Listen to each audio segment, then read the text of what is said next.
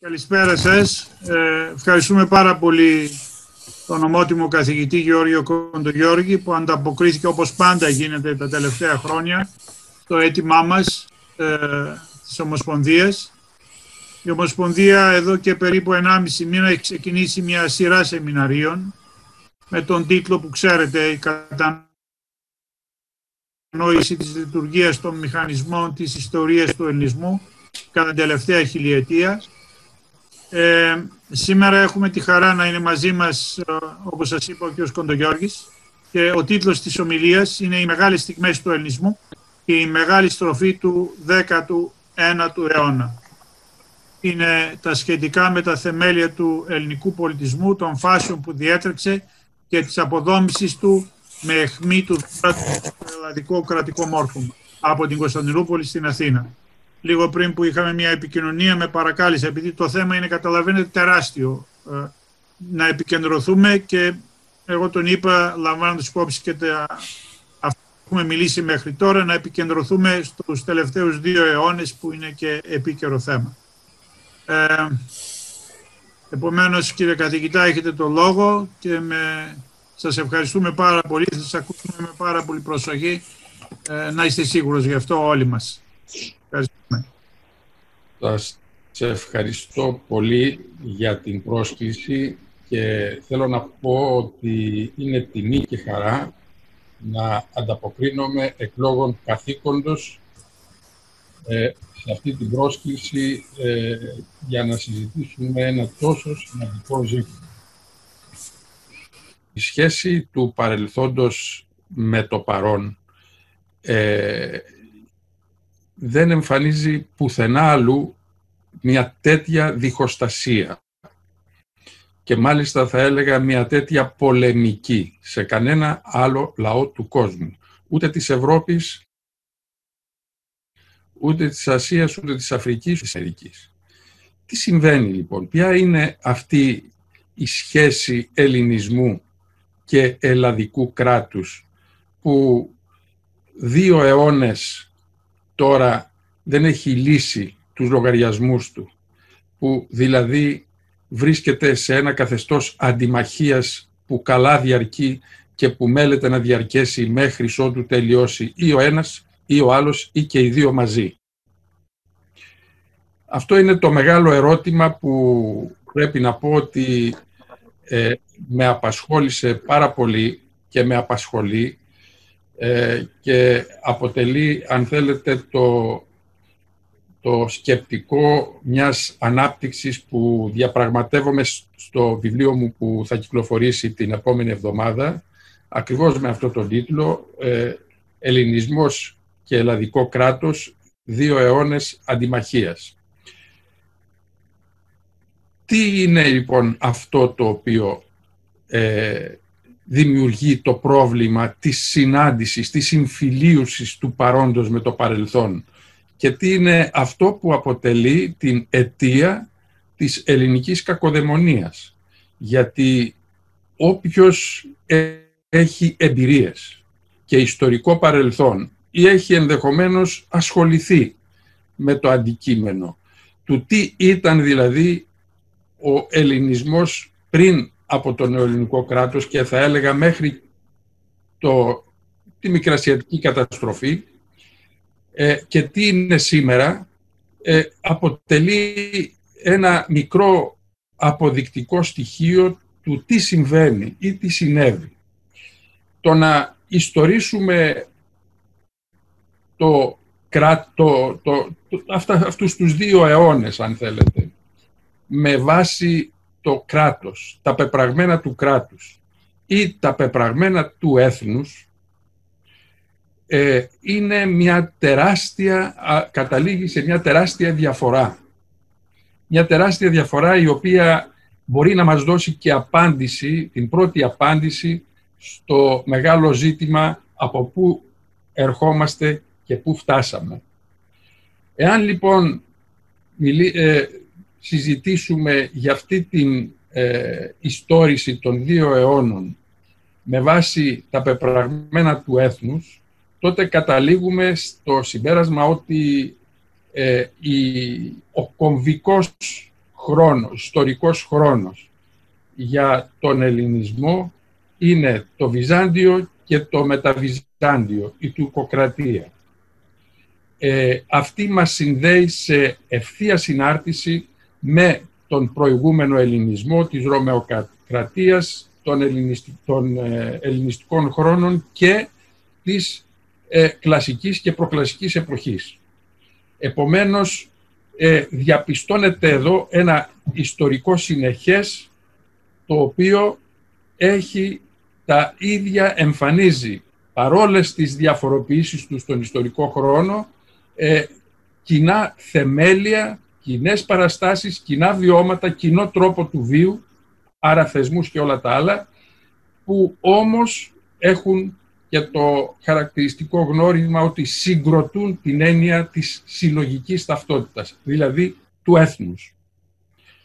Άρα, εάν θελήσουμε να εξετάσουμε τα πεπραγμένα αυτά με βάση αυτή την συνέχεια, διαπιστώνουμε ότι ο ελληνικός κόσμος ε, στην περίοδο της τουρκοκρατίας έχει τα ίδια θεμέλια, τις, τους ίδιους θεσμούς, τις ίδιες αντιλήψεις για τη ζωή, για την πολιτική, για την οικονομία που είχαν και οι, προηγούμενοι, οι προηγούμενες περίοδοι, δηλαδή του Βυζαντίου, των ελληνιστικών χρόνων και της κρατοκεντρικής, της κλασικής, αν θέλετε, εποχής. Ε, ποια είναι η διαφορά; Δεν, δεν είναι στατικός αυτός ο ελληνισμός. Ε, είναι όπως ο καθένας από εμάς. Εάν, παραδείγματος χάρη, κάποιος από εμάς εμφανίσει στους άλλους φωτογραφίες οι οποίες ξεκινούν από τη στιγμή της γέννησης μέχρι το τέλος του βίου του ή, ή έναν προχωρημένο βίο, θα διαπιστώσουμε ότι οι άλλοι που θα τις βλέπουμε δεν θα, μπορεί, δεν θα μπορούμε να δημιουργήσουμε αυτή την έννοια της συνέχειας, διότι προφανώς η στιγμή της γέννησης του 5 δεν έχει να κάνει στο φωτογραφικό υλικό που παρίσταται ο άνθρωπος αυτός ε, στην όλη εξέλιξη μέχρι το τέλος του βίου. Σημαίνει όμως ότι ο ίδιος άνθρωπος είναι αυτός που εμφανίζεται στις φωτογραφίες των 0 χρόνο ή στον, στα 2 ή 3 έτη του, όπως και αυτός που εμφανίζεται πολύ αργότερα. Ε, τι συμβαίνει λοιπόν εδώ με τον ελληνικό κόσμο; Είναι ακριβώς αυτό. Εμφανίζει τα κοινά θεμέλια της ύπαρξής του και συγχρόνως μια εξελικτική δυναμική. Ξέρετε ποιο είναι αυτό το, το κοινό σημείο. Το γεγονός ότι συγκροτήθηκε με θεμέλιο τις μικρές κοινωνίες, τη μικρή κλίμακα των πόλεων, και αυτή ήταν η θεμελιώδης κοινωνία του και η ελευθερία του ως έθνους, ως γένους όπως ελέγεται, ε, συναρτάτο με την ελευθερία των πόλεων. Αφορολόγητο, ε, αφρούρητο και βεβαίως ελεύθερος στις επιλογές του. Αυτή λοιπόν η πραγματικότητα δεν τελειώνει όπως μας λένε με, με την είσοδο στο Βυζάντιο, δεν τελειώνει με την τουρκοκρατία, τελειώνει με το νέο ελληνικό κράτος. Ό,τι εισέρχεται στο νεοελληνικό κράτος καταργείται σε ό,τι έχει να κάνει με την ίδια την ταυτότητά του, τις αναγωγές του, τους θεσμούς του κλπ. Αυτό που αποκαλούμε κοινότητα στην τουρκοκρατία δεν είναι τίποτε άλλο παρά το κοινό των Ελλήνων, δηλαδή οι πόλεις κράτη όπως εξελίχθηκαν στον ιστορικό χρόνο και όπως απέκτησαν περισσότερα χαρακτηριστικά γνωρίσματα από αυτά που είχαν πιο πλούσια δηλαδή στην ανθρωποκεντρική του εξέλιξη από ό,τι ήταν στο ιστορικό παρελθόν και δεις στους κλασικούς χρόνους. Θα σας πω ένα παράδειγμα. Αυτό που θαυμάζουν όλοι σήμερα την Αθηναϊκή Δημοκρατία η Αθηναϊκή Δημοκρατία επιτυγχάνει το σκοπό της, δηλαδή την καθολική ελευθερία των πολιτών, ατομική, κοινωνική και πολιτική, αλλά όμως αφήνει έξω από την δημοκρατική οργάνωση την οικονομία, το οικονομικό σύστημα. Η περίοδος για να μην διατρέξουμε όλη αυτή την εποχή. Η περίοδος του Βυζαντίου έχει ακριβώς αυτό το χαρακτηριστικό γνώρισμα που δεν έχει η Αθήνα των κλασικών χρόνων. Δηλαδή, έχει καταφέρει να εφαρμόσει τη δημοκρατική αρχή και την περίοδο και στην, στο οικονομικό σύστημα, αλλά και στη συνέχεια και στο πολιτικό σύστημα. Αυτό το βρίσκουμε στην τουρκοκρατία, ξέρετε. Αυτό που συμβαίνει την περίοδο της τουρκοκρατίας είναι πανομοιότυπο με αυτό που συμβαίνει στο Βυζάντιο. Ε, δεν υπάρχει δουλεία, η, το οικονομικό σύστημα είναι συγκροτημένο με όρους δημοκρατίας, για να μην υπάρχει η εξαρτημένη εργασία, το βλέπουμε αυτό σε αυτό που αποκαλείται τεχνίες, ξέρετε, οι συντροφίες. Είναι αυτή η δημοκρατική αρχή που υιοθετήθηκε σταδιακά και που έγινε καθεστώς στο Βυζάντιο και έγινε η αιτία της κατάργησης της δουλείας. Ε, γίνεται πολλή συζήτηση για το Βυζάντιο ε, που κατατείνει στο να δείξει ότι δεν υπάρχει αυτή την εποχή ελληνική ταυτότητα, ελληνική ταυτοτική συνείδηση. Είναι μεγάλο λάθος. Όπως έχω δείξει με την ε, επίκληση των πηγών, από την πρώτη μέρα που μετεγκαθίσταται η Μητρόπολη από τη Ρώμη στο Βυζάντιο, ε, σταδιακά βεβαίως το κράτος αρχίζει να προσαρμόζεται στις συνθήκες του ελληνικού κόσμου πάνω στον οποίο εγκαθίσταται. Είναι η πρώτη φορά που έχουμε μία κοινωνία τόσο ομοιογενή στο επίπεδο της ταυτότητας που δεν τη συναντάμε βεβαίως ούτε στους ελληνιστικούς χρόνους. Η ελληνική ταυτότητα η οποία δηλώνεται σε όλο το διάστημα από την αρχή μέχρι τέλους και μάλιστα με μια προσπάθεια να αποξενωθεί το Βυζάντιο, δηλαδή ο ελληνικός κόσμος του Βυζαντίου από τις ρωμαϊκές του καταβολές και να αναζητήσει τα πρότυπά του στους ελληνιστικούς και στους κλασικούς χρόνους. Ε, πρώτα-πρώτα επανέρχεται το, προσωνύ, το επωνύμιο μάλλον του Έλληνα δεν καταργείται παρόλο ότι λέγεται πολύ συχνά ότι Έλληνας είναι ο μη χριστιανός αντιθέτως συναντιέται και το έχω αποδείξει αυτό και με το εθνοτικό του προσωνύμιο από την αρχή μέχρι το τέλος. Δεύτερον, ε, η έννοια του Γρεκού. Τρίτον, όταν γίνεται επίκληση της ε, έννοιας του Ρωμαίου, κατευθείαν γίνεται η αναφορά ότι οι πρόγονοι αυτών των Ρωμαίων, των Ελλήνων Ρωμαίων δηλαδή, της καθημάς της ημετέρας Ρώμης όπως λέγεται, είναι η, ε, ο Μέγα Αλέξανδρος, ο Φίλιππος, ο Περικλής κλπ. Δηλαδή όλοι όσοι ανάγονται στην ελληνική σημειολογία του παρελθόντος και όχι οι Ρωμαίοι.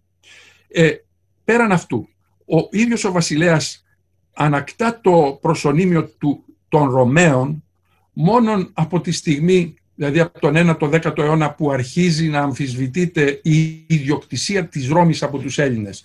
Η οποία ιδιοκτησία της Ρώμης είχε να κάνει με το ποιος έχει δικαίωμα να ηγεμονεύει στον οικουμενικό κόσμο και όχι ποιος είναι Ρωμαίος. Θα ήταν παράδοξο στη διάρκεια της Ρωμαιοκρατίας οι Έλληνες να παραμείνουν Έλληνες, αυτό είναι ομολογημένο, και στη διάρκεια της ε, ανάκτησης της Ρώμης, της ιδιοκτησίας της Ρώμης από τους Έλληνες να γίνουν Ρωμαίοι. Αλλά, εν πάση περιπτώσει όμως, η έννοια του Γρεκού ή του Έλληνα ή του Ρωμαίου που δηλώνει τον Έλληνα είναι μια σαφή σταθερά. Κάποιοι στους νεότερους χρόνους, για λόγους που ε, έχει σημασία να τους συγκρατήσουμε διότι ανάγονται στην περίοδο της τουρκοκρατίας. Ε, επεχείρησαν να υποκαταστήσουν όλη αυτή τη σημειολογία της ελληνικής ταυτότητας με την έννοια της Ρωμιοσύνης, της Ρωμανίας. Δεν είναι αληθές. Η έννοια της Ρωμανίας που εμφανίζεται και πριν από τη μεταφορά της πρωτεύουσα στην Κωνσταντινούπολη, της παράδοσης δηλαδή των κλειδιών της Ρώμης στην, στον ελληνικό κόσμο, ε, η έννοια της Ρωμανίας εμφανίζεται σπανίως. Εμφανίζεται στο γεκαυμένο 5-6 φορές και εμφανίζεται και μία-δύο φορές αργότερα. Δεν έχει δηλαδή μία ε, εθνοτική ή μία ταυτοτική αναφορά. Ε, άλλο ότι η Ρωμοί είναι αυτό που αποκαλούνται οι Έλληνες. Ε, άρα λοιπόν ε, εδώ έχουμε όπως και να αποκαλούνται οι Έλληνες που άλλωστε και στο παρελθόν στην αρχαιότητα δεν είχαν ενιαίο όνομα όπως ξέρουμε, ήταν Αχαιοί, ήταν Δωρείς κλπ. Ε, είναι αυτοί που αισθάνονται ότι έχουν την ταυτότητα του ανήκειν στο ελληνικό γένος. Το δεύτερο είναι ότι αλλάζει εντελώς και ο κόσμος του Βυζαντίου, οι πραγματικότητες. Το ίδιο το κράτος του Βυζαντίου αποκαλείται από τους Βυζαντινούς Έλληνες Βυζάντιο. Όλη αυτή η φιλολογία ότι το Βυζάντιο, η έννοια, ε, αποδόθηκε στους νεότερους χρόνους σε αυτή την περίοδο της, της ε, εποχής της Ρώμης είναι ψευδές. Και θα πω και κάτι άλλο, ότι ουδέποτε οι Βυζαντινοί αποκάλεσαν το κράτος τους ε, Ανατολική Ρωμαϊκή Αυτοκρατορία. Διότι το Βυζάντιο, όπως και οι ελληνιστικοί χρόνοι, δεν έχουν αυτοκρατορίες. Η αυτοκρατορία ανάγεται σε δεσποτικές κοινωνίες που η ταυτότητα ε, εξισώνεται με την ταυτότητα με το πρόσωπο του μονάρχη, του απολυταρχικού άρχοντα και όχι με την ταυτότητα της κοινωνικής συλλογικότητας, του πολιτισμού των Ελλήνων. Αυτό το κράτος του Βυζαντίου είναι η Κοσμόπολη. Είναι ένα άλλο κράτος που απαρτίζεται από τις πόλεις, τα κοινά, και από την κεντρική πολιτεία που εν προκειμένου είναι η πολιτεία του Βυζαντίου που ορίζει και το όνομα του κράτους γιατί είναι βασιλεύουσα πόλης.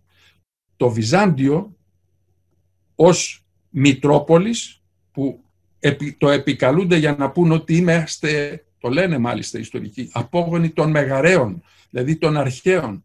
Ε, είναι το προσωνύμιο που στην Οικουμενική Κοσμόπολη αποδίδει το όνομά του και στο σύνολο του κράτους. Γι' αυτό και η Ρώμη λέγεται Ρώμη και Ρωμαϊκή Αυτοκρατορία, διότι είναι ε, η πρωτεύουσα αυτή δηλαδή που ηγεμονεύει επί των άλλων πόλεων, η οποία δίνει το όνομά της. Το ίδιο συμβαίνει και εδώ, το βλέπουμε στα βυζαντινά κείμενα.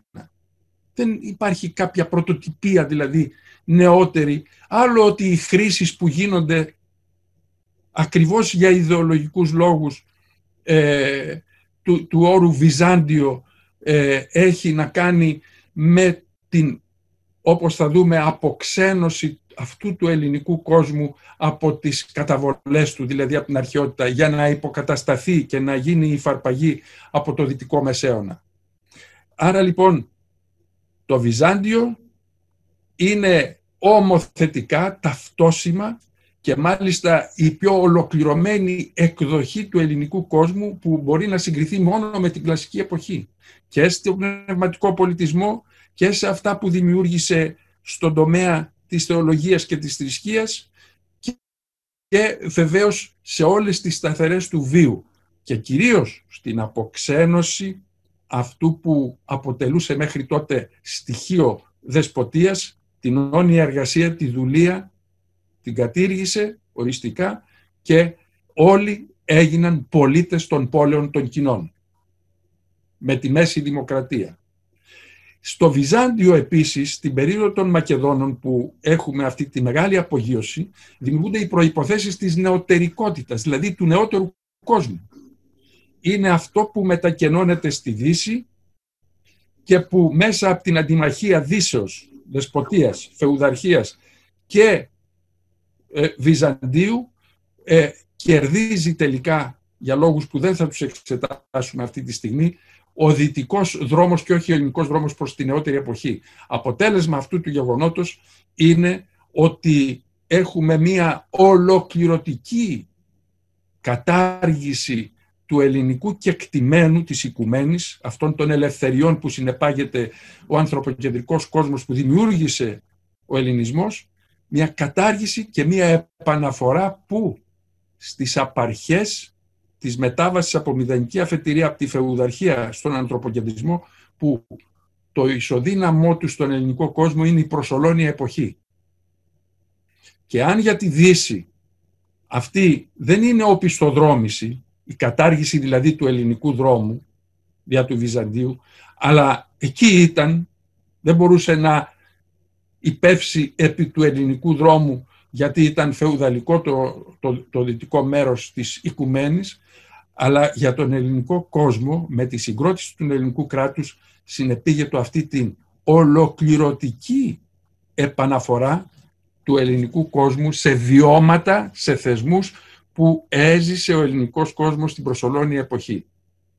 Ε, αυτό λοιπόν είναι το κεντρικό ζήτημα που έχει να κάνει με τη μία πλευρά της ιστορίας. Εάν ιστορίσουμε δηλαδή τον ελληνισμό και στα 200 χρόνια δυνάμει των πεπραγμένων του έθνους, έθνος υπάρχει και υπάρχει όπου υπάρχουν ελεύθερες κοινωνίες, τότε σημαίνει ότι ο ελληνικός κόσμος έχει ένα συνεχές, διασφαλίζει αυτή τη συνέχεια που φτάνει μέχρι και την Επανάσταση και βεβαίως μέχρι την εποχή την οποία γνωρίζουμε τον, της δεύτερης δεκαετίας του 20ου αιώνα, δηλαδή της μικρασιατικής καταστροφής για τον μικρασιατικό και θρακικό ελληνισμό. Αντιθέτως, εάν ιστορίσουμε αυτά τα 200 χρόνια δια του κράτους, τι σημαίνει, πού οδηγούμαστε; Οδηγούμαστε, ξέρετε, πρώτα-πρώτα στη γενική θέαση της κοσμοϊστορίας, στο γεγονός ότι δεν υπάρχει ελληνική συνέχεια. Το Βυζάντιο και η περίοδος του τουρκοκρατίας εκπίπτουν από την ελληνική σημειολογία, από την ελληνική συνέχεια και τη συνέχεια τη διασφαλίζει ο μεσαίωνας, ο ευρωπαϊκός μεσαίωνας. Δηλαδή έχουμε αρχαιότητα, μεσαίωνα και νεωτερικότητα. Αλλά δεν συνεκτιμούν ένα γεγονός, ότι ο μεσαίωνας είναι η έξοδος της Δυτικής Ρώμης, των κοινωνιών της Δυτικής Ρώμης, από την ιστορία. Όχι μόνο την ανθρωποκεντρική ιστορία που ζούσε ως παρένθετη περιφέρεια ε, του ελληνικού κόσμου, αλλά και πέραν αυτού ε, ως, ως δεσποτική εποχή, διότι στο μεγαλύτερο μέρος του, ώσπου ο ελληνικός κόσμος να ξανασύρει αυτή την δύση στην αναγέννηση, δεν υπάρχει, δεν μετέχει σε καμιά ιστορία δεν, δεν υπάρχει τίποτε που είναι μια πνιγυρή κατάσταση ε, φεουδαρχίας στην οποία οδήγησε η γερμανοσκανδιναβική βαρβαρότητα. Αυτή η μεγάλη σύγκρουση της Ευρώπης με την γερμανοσκανδιναβική βαρβαρότητα συναντιέται και στην επόμενη περίοδο με τον ελληνισμό και εξακολουθεί, ξέρετε, μέχρι σήμερα έχει πολύ ενδιαφέρον να δει κανείς πώς διαμορφώνεται αυτή η σχέση μεταξύ ελληνικής και λατινικής συμπεριλαμβανομένης Ευρώπης και γερμανικής Ευρώπης. Ε, πώς δηλαδή ο γερμανικός κόσμος καταστρέφει ένα, το δυτικό μέρος της Ρώμης και στη συνέχεια εκδιώκει τον ελληνικό κόσμο από την Ιταλία και γίνεται η αιτία πολλών δεινών για την μετέπειτα συνέχεια του ελληνικού ανθρωποκεντρισμού αλλά και της Δυτικής Ευρώπης και της Ευρώπης στο σύνολό της. Γιατί ακόμα και σήμερα ο γερμανικός κόσμος δεν ρύθμισε τους λογαριασμούς του με αυτή την πραγματικότητα του ιστορικού, του κοσμοϊστορικού, λατινικού και ελληνικού κόσμου. Ε, άρα λοιπόν, εάν υιοθετήσουμε την ιστόρηση των πεπραγμένων του ελληνισμού με βάση τα πεπραγμένα του κράτους, ε, έχουμε αφενός προσπάθεια αποξένωσης με το παρελθόν, απαξίωσης με το παρελθόν, ότι δηλαδή δεν μπορεί να το αποξενωθεί, το απαξιώνει έχει, και το καταργεί. Δηλαδή ε, ε, έχουμε μία διαδικασία κατάλυσης όλου αυτού του ελληνικού κόσμου που εισέρχεται στον ελληνικό κράτος τι είναι αυτός ο ελληνικός κόσμος που εισέρχεται στο νεοελληνικό κράτος και απαξιώνεται; Είναι όντως ε, κάτι που πρέπει να απαξιωθεί προκειμένου να εξευρωπαϊστούμε όπως λέγεται; Πρώτα-πρώτα είναι η πόλη, ως θεμέλιες κοινωνίες. Και είναι η δημοκρατική οικονομία και η δημοκρατική πολιτεία μέσα στα κοινά. Όταν έρχονται οι Βαβαροί, το πρώτο που κάνουν είναι να καταργήσουν τα κοινά και τη δημοκρατία, που επεχείρησε ο Καποδίστριας να τα ανασυστήσει, ξέρετε, που είχαν καταληθεί στη, στην περιοχή της Ελληνικής Επανάστασης, γιατί είχε διαλυθεί ο κοινωνικός ιστός. Ε, και μάλιστα με απαξιωτικούς όρους.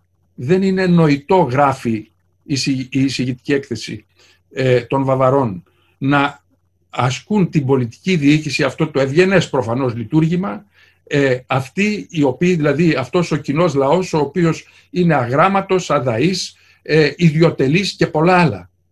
Δηλαδή αυτό που αποτελεί το ιδίωμα, το ιστορικό ιδίωμα του ελληνικού κόσμου από τις απαρχές του, δηλαδή από τον, την εποχή του Σόλωνα μέχρι και το νεοελληνικό κράτος ε, έρχεται η, το κράτος, τον, τον, το ελλαδικό κράτος να το καταργήσει στο όνομα του εξευρωπαϊσμού. Τι ήταν λοιπόν αυτό το ευρωπαϊκό, το, το, το κράτος που εμφυτεύεται στον ελληνικό κόσμο; Μια απολυταρχία, μια κρατική δεσποτεία, ένα θεουδαλικό καθεστώς, ελαίο Θεού. Αυτή είναι η έννοια του ελαίου Θεού. Όλοι ξέρουμε και μπορούμε να στοχαστούμε και με τους σημερινούς όρους τι είναι αυτό το νεοελληνικό κράτος. Είναι το κράτος της δημοκρατίας όπως μας λένε. Είναι το κράτος της αντιπροσωπευτικής δημοκρατίας.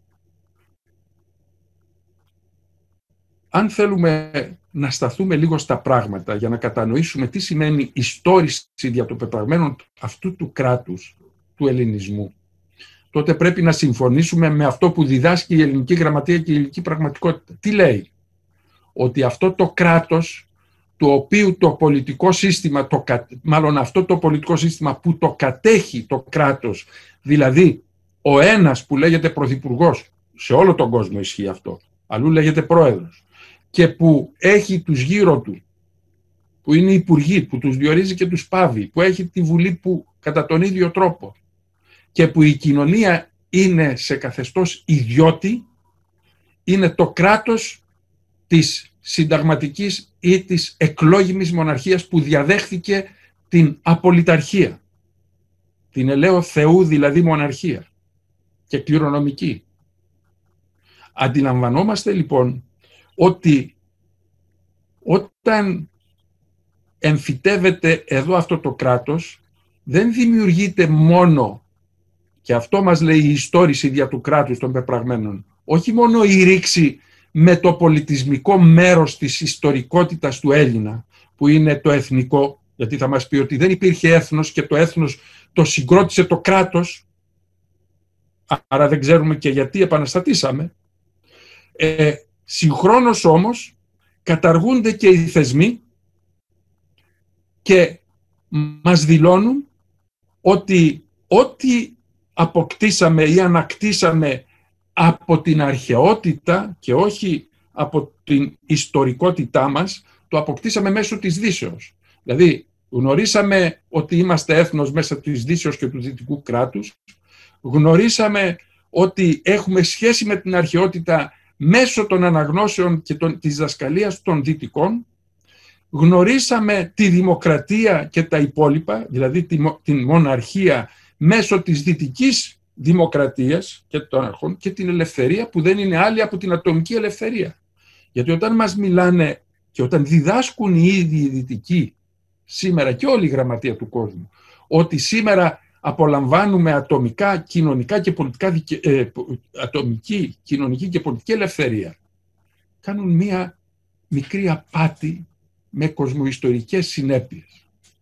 Όπως και με το ζήτημα της δημοκρατίας και με όλα τα άλλα. Τι, ότι την μεν ελευθερία στο ατομικό πεδίο, στο προσωπικό πεδίο την ορίζουμε ως αυτονομία, αλλά, δηλαδή να αυτοκαθοριζόμαστε, αλλά στο πεδίο της κοινωνικής, οικονομικής και πολιτικής ζωής ως δικαίωμα.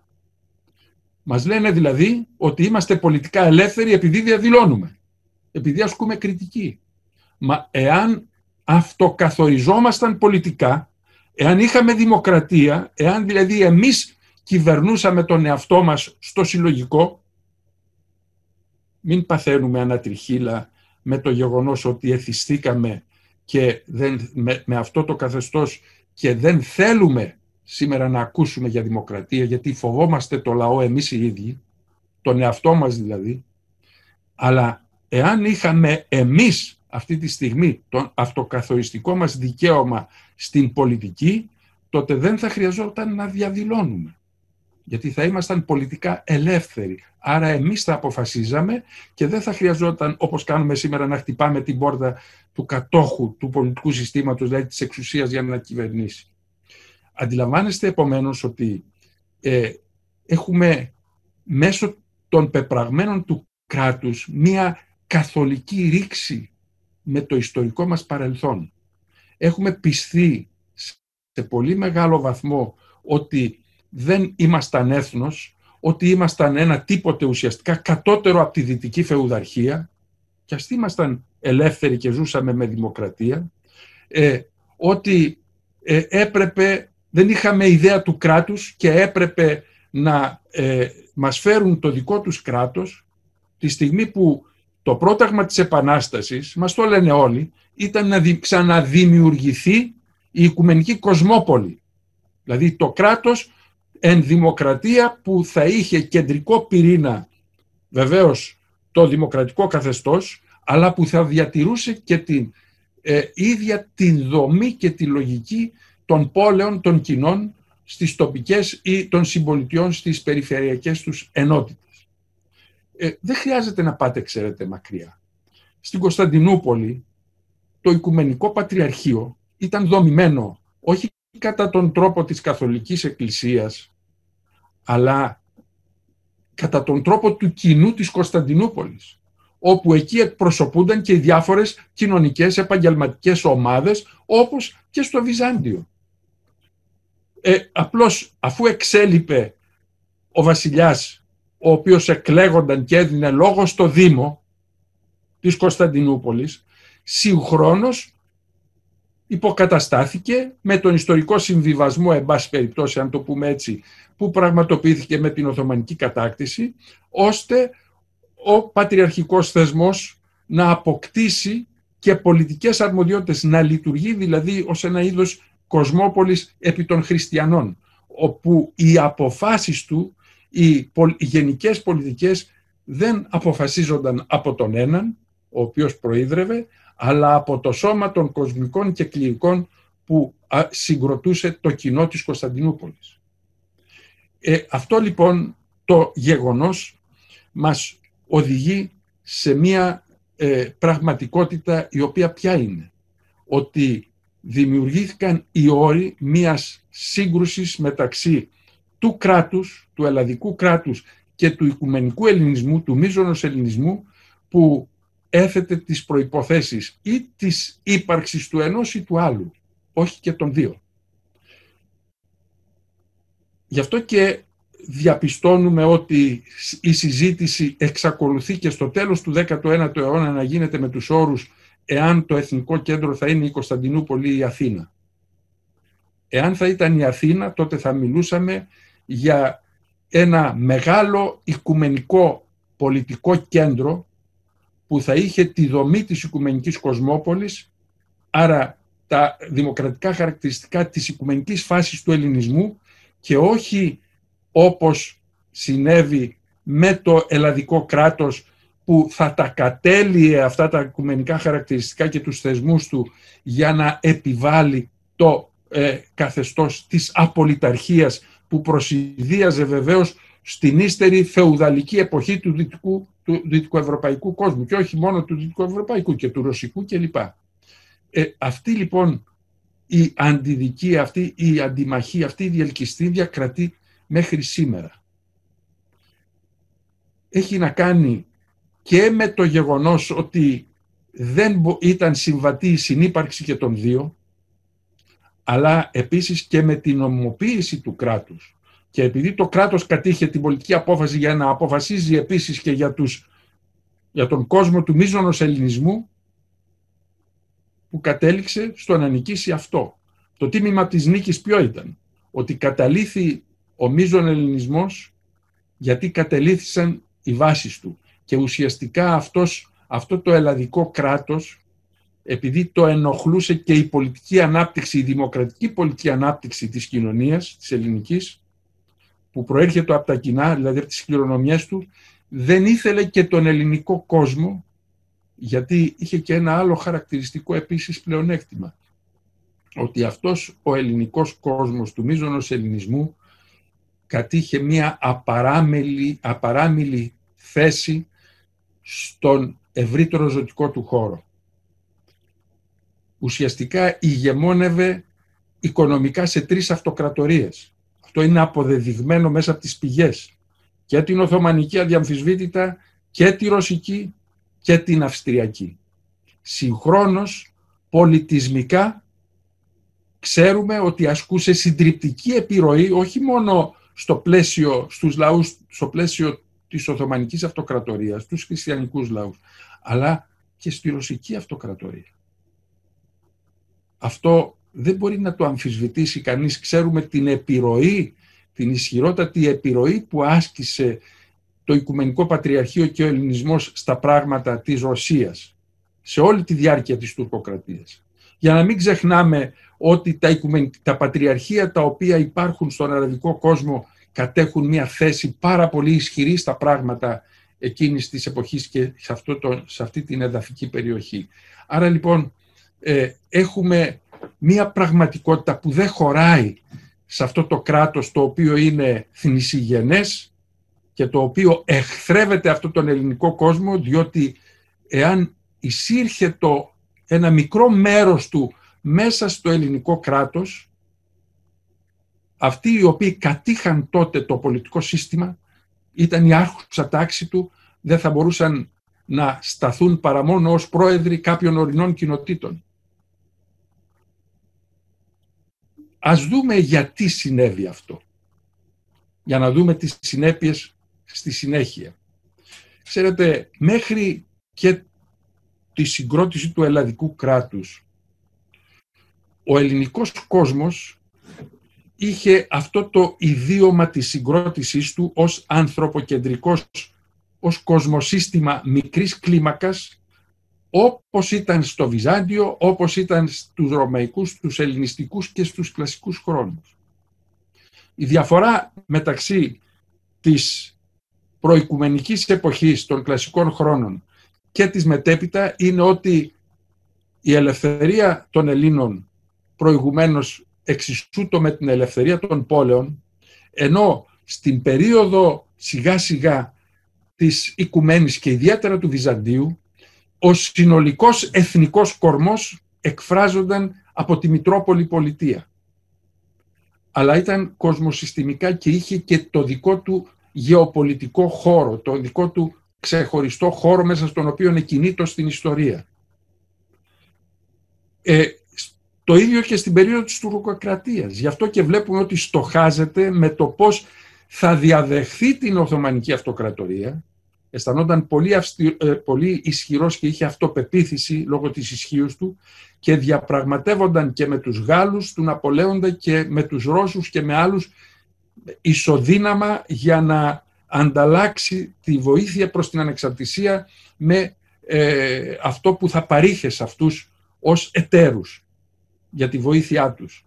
Αυτό λοιπόν το στοχαστικό μέρος της διαδοχής της Οθωμανικής Αυτοκρατορίας με την ανασυγκρότηση της, του κράτους της Οικουμένης, που είναι η Κοσμόπολη και όχι μια αυτοκρατορία, είναι η υψίστη φιλοδοξία αλλά που προέρχεται από αυτό τον ελληνισμό που στοχάζεται αυτόνομα, αυτοδύναμα, χωρίς να γίνεται προσάρτημα κανενός. Διαλέγεται ο Ρήγας ο Βελεστινλής, παραδείγματος χάρη, με τα ριζοσπαστικά ρεύματα, προσέξτε έχει σημασία, της Γαλλικής Επανάστασης, αλλά πηγαίνει πολύ πιο πέρα από αυτά.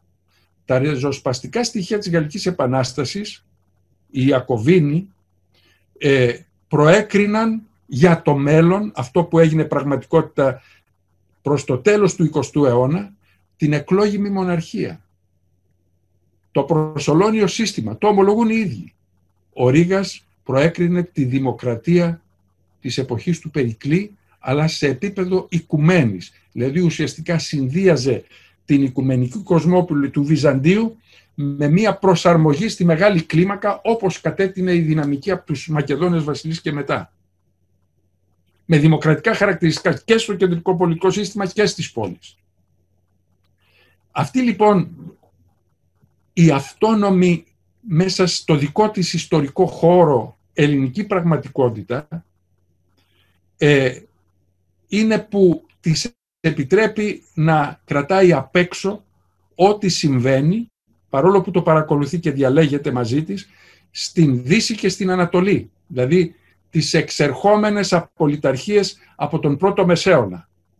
Που τι γίνεται εκεί, γίνεται ένας μεγάλος διαγωνισμός μεταξύ εκείνων οι οποίοι θέλουν να διατηρηθεί η απολυταρχία και εκείνους που θέλουν να την υπερβούν για να πάνε στο κράτος έθνος. Δηλαδή να υποκατασταθεί, χωρίς να αλλάξει το πολιτικό σύστημα, να υποκατασταθεί η φεουδαρχία που υπήρχε ακόμη και επίσης ο απολυταρχικός μονάρχης που θεωρούσε το κράτος ιδιοκτησία του από ένα νομικό πλάσμα, μια νομική κατασκευή, μια ανώνυμη εταιρεία που θα έπρεπε να έρθει με την ψήφο του το εκλογικό σώμα να δώσει το πρόσωπο ή τα πρόσωπα που θα το κυβερνούσαν, αλλά που θα ήταν ιδιώτης από εκεί και πέρα αυτό το εκλογικό σώμα. Η ψήφος είχε αυτό το περιεχόμενο, της χορηγίας πολιτικού προσωπικού για να ασκήσει την πολιτική εξουσία. Η σχέση κοινωνίας και πολιτικής δεν αλλάζει, είναι σχέση κατόχου του, του πολιτικού συστήματος και ιδιώτη. Η κοινωνία γίνεται ιδιώτη. Στιγμία είναι η πολιτική της συμμετοχή στο πολιτικό σύστημα. Άρα λοιπόν, έχοντας αυτή την αυτονομία, μπορούσε να στοχάζεται με τους όρους της ιστορικότητάς της, άρα αυτού του ανθρωποκεντρικού πολιτισμού που εδραζόταν στην αρχή της δημοκρατίας. Αυτού που δημιούργησε τον πολιτισμό, που κινητοποίησε όλες αυτές τις μονάδες, τα άτομα δηλαδή, τα οποία τα ενέτασε μέσα στο συλλογικό και δημιουργούσαν και συνέβαλαν σε αυτό αντί να τα έχουν έξω από το συλλογικό και να εχθρεύονται το συλλογικό. Το ατομικό εντός ή εκτός του συλλογικού. Δεν είναι τυχαίο αυτό που βλέπει κανείς σε όλη την περίμετρο του ελληνικού κόσμου όπου είναι γεμάτο, γεμάτη με ευεργεσίες αυτών οι οποίοι ευδοκιμούσαν και που εθεωρούσαν ότι έπρεπε να εισφέρουν και στο κοινό κάτι αφού ήταν αυτό το οποίο τους έδωσε τη δυνατότητα να ε, αποκτήσουν τον πλούτο και τις δυνατότητες που είχαν. Άρα λοιπόν ε, μέχρι εδώ έχει καλός. Αυτό που συνέβη λοιπόν με την Επανάσταση είναι η συντριπτική ήττα αυτού του προτάγματος και του ελληνικού κόσμου. Τι στόχευε η Επανάσταση, το είπαμε πριν. Γι' αυτό και ξεκίνησε από την Μορδοβλαχία. Λένε πολλοί ότι ξεκίνησε επειδή προσδοκούσαν τη βοήθεια των Ρώσων. Αυτό είναι μια λεπτομέρεια, ξέρετε. Το σχέδιο των επαναστατών ήταν να κατέβουν στην Κωνσταντινούπολη όπου είχε προβλεφθεί οργάνωση πραξικοπήματος, κατάληψη του στόλου, του ναυστάθμου ε, και σύλληψη του, ε, ε, του Σουλτάνου και των άλλων αρχόντων της Οθωμανικής Δεσποτείας. Δεν έγινε τίποτε όλα αυτά, διότι η Επανάσταση έτσι ομολογείται και το βλέπουμε άλλωστε αν παρακολουθήσουμε πώς έγινε η κήρυξη της Επανάστασης και η συνέχεια από τον Υψηλάντη, αλλά και στη συνέχεια στην Πελοπόννησο, η κήρυξη της Επανάστασης έγινε με έναν τρόπο εξαιρετικά πρόχειρο που αυτός ακριβώς απομιμεί το, το δυτικό παράδειγμα.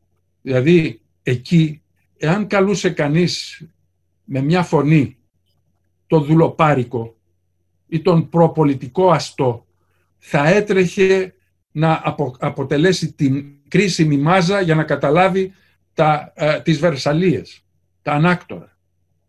Ο ελληνικός κόσμος είχε μια πολιτισμική, πολιτιακή, οικονομική διασπορά οργανωμένος σε πόλεις με δικό του της, τους πατριωτικό μέτωπο και συμφέροντα μια πολυσημεία επομένως η οποία δεν επέτρεπε σε αυτόν τον κόσμο να συγκροτηθεί σε μια ενότητα με τον ίδιο τρόπο και να δράσει με τον ίδιο τρόπο που ε, δρούσε μια φεο, φεουδαλική κοινωνία. Το αποτέλεσμα λοιπόν ήταν ο Μένι Ψηλάντης να αποτύχει χωρίς να μπορέσει καν να βγει από τη Μολδοβλαχία, στην Κωνσταντινούπολη να μην συμβεί τίποτε και οι ελληνικές πόλεις, τα ελληνικά κοινά από την Ασία μέχρι την Ευρώπη να εξεγερθούν αλλά να κατασταλούν από μία σε απόλυτη παρακμή όπως απεδείχθη άλλωστε από το γεγονός ότι δεν μπόρεσε καν να καταστήλει την Επανάσταση στην Πελοπόννησο ε, Οθωμανική Αυτοκρατορία η οποία είχε όλες τις προϋποθέσεις να την καταλάβει εξαπίνης ο ελληνικός κόσμος που ήταν σε επαναστατικό αναβρασμό αυτή την εποχή. Και το αποτέλεσμα ήταν λοιπόν να εκφυλιστεί στο επαναστατικό ε, γεγονός της Πελοποννήσου και της Στερεάς. Άρα και εκεί να εκπνεύσει άλλωστε, έτσι, γιατί μην ξεχνάμε ότι ο Καποδίστριας ήρθε να αναστήσει την Επανάσταση και να κάνει ε, πολύ σημαντικό συνομιλητή τον εαυτό του ως εκπρόσωπο ενός κράτους που δεν υπήρχε με τις μεγάλες δυνάμεις. Ε, λοιπόν, η δολοφονία του αυτό υποδηλώνει. Και έχει σημασία, ξέρετε, ε, να δούμε πώς προετοιμάστηκαν εκεί οι προϋποθέσεις να μας παραδώσουν οι ίδιοι οι κοντζαμπάσιδες στην ε, δυτική δεσποτεία, στην ευρωπαϊκή δεσποτεία γενικότερα. Ε, έχει σημασία να προσέξουμε, τον αναλύω διαξοδικά στο βιβλίο μου αυτό, την, ε, τον διάλογο και τη στάση του Κοραή απέναντι στον Καποδίστρια. Και θα αντιληφθούμε γιατί τον Κοραή, ένα μεγάλο στοχαστή για την εποχή, τον έχουν θεοποιήσει σήμερα και τον Καποδίστρια τον καταδιώκουν ως εάν είναι το φάντασμα που πρέπει να εξαφανιστεί από το πρόσωπο της γης, ο αυταρχικός κλπ. Ο, ο Κοραής λοιπόν θεωρήθηκε ηθικός αυτούργος του, της δολοφονίας του Καποδίστρια. Γιατί κατηγορούσε τον Καποδίστρια; Διότι στην πραγματικότητα ήθελε αυτό που λέγανε την αβασίλευτη, την αμονάρχευτη ε, μοναρχία, δηλαδή την, την εκλόγιμη μοναρχία και τη θεωρούσε όπως τη θεωρούσαν βεβαίως και οι διαφωτιστές και οι άλλοι της ε, δυτικής αναγέννησης ως το καταστάλαγμα της δημοκρατίας. Η μεγάλη απάτη της διάκρισης μεταξύ έμεσης και άμεσης δημοκρατίας. Η δημοκρατία είναι μία. Δεν υπάρχει άμεση και έμεση, όπως δεν υπάρχει άμεσος και έμεσος άνθρωπος, άμεσο και έμεσο τραπέζι. Άρα λοιπόν ο Κοραής εμένθετο τον Καποδίστρια διότι επανέφερε τη δημοκρατία στα κοινά και διότι πήρε προθεσμία με την αναστολή του συντάγματος που έδινε την πατοδυναμία στους κοντζαμπάσιδες να μπορέσει να συγκροτήσει κράτος και να διαπραγματευτεί με τις δυνάμεις την αναγνώριση του κράτους και των, και των συνόρων του. Το δεύτερο ήταν ότι αξίωνε από τον Καποδίστρια να σταλούν Γάλλοι να φτιάξουν το Σύνταγμα της Ελλάδας. Το τρίτο, ότι ήθελε να, το εκπαιδευτικό σύστημα των Ελλήνων να το οργανώσουν και να αποτελέσουν τους δασκάλους του οι Γάλλοι εκπαιδευτικοί. Το ερώτημα σε ποια γλώσσα μας απαντάει ο ίδιος. Μας λέει ότι πρέπει να φτιάξουμε ένα έθνος ε, Γρεκογάλων. Ουσιαστικά δηλαδή βάζει ως στην προμετωπίδα την ιδεολογία και θέτει ως προϋπόθεση για την αναγνώριση του ελληνικού κράτους όχι αυτό το οποίο ήθελαν οι δυνάμεις της εποχής. Δηλαδή να τους μοιάζει αλλιώς δεν το αναγνώριζαν, αλλά πρώτα να αναγνωριστεί ότι θα ήταν το ισότιμο και το ταυτόσιμο του Αμερικανικού Συντάγματος και μετά να αναγνωριστεί η ανεξαρτησία, αλλιώς να μην υπάρξουμε. Ο Καποδίστριας έχοντας επίγνωση των γεωπολιτικών πραγμάτων και γνωρίζοντας ότι δεν μπορούσε σε καμιά περίπτωση να υπάρξει η, η αναγνώριση της ανεξαρτησίας των Ελλήνων εάν δεν υιοθετούσαν την απολυταρχία, μιλούσε για προσωρινό πολίτευμα και συμβούλευε τους Έλληνες να, ε, το πολίτευμα να παραμείνει προσωρινό έως ότου εδρεωνόταν η πραγματικότητα στα κοινά, εν δημοκρατία, για να εξουδετερωθούν οι κοντζαμπάσιδες και συγχρόνως να ε, δημιουργηθεί ένα κράτος με ασφαλή σύνορα. Αυτός ήταν, αυτό ήταν το περιεχόμενο του διαλόγου με τον Λεοπόλδο, τον πρώτο διάδοχο, στον οποίο έλεγε ότι ε, δεν ήταν νοητό να έρθει στην Ελλάδα χωρίς να υποβληθεί στην εκλογή, παρόλο που επελέγει από, τους, ε, από την απολυταρχία της Ευρώπης, χωρίς να υποβληθεί στην εκλογική δοκιμασία των Ελλήνων. Οι κοντζαμπάσιδες ε, διακινούσαν την ιδέα του συντάγματος, η συνταγματική υπερήφημη, γιατί θέλανε να καταργηθεί η καθολική ψήφος και τους απαντούσε ο Καποδίστριας.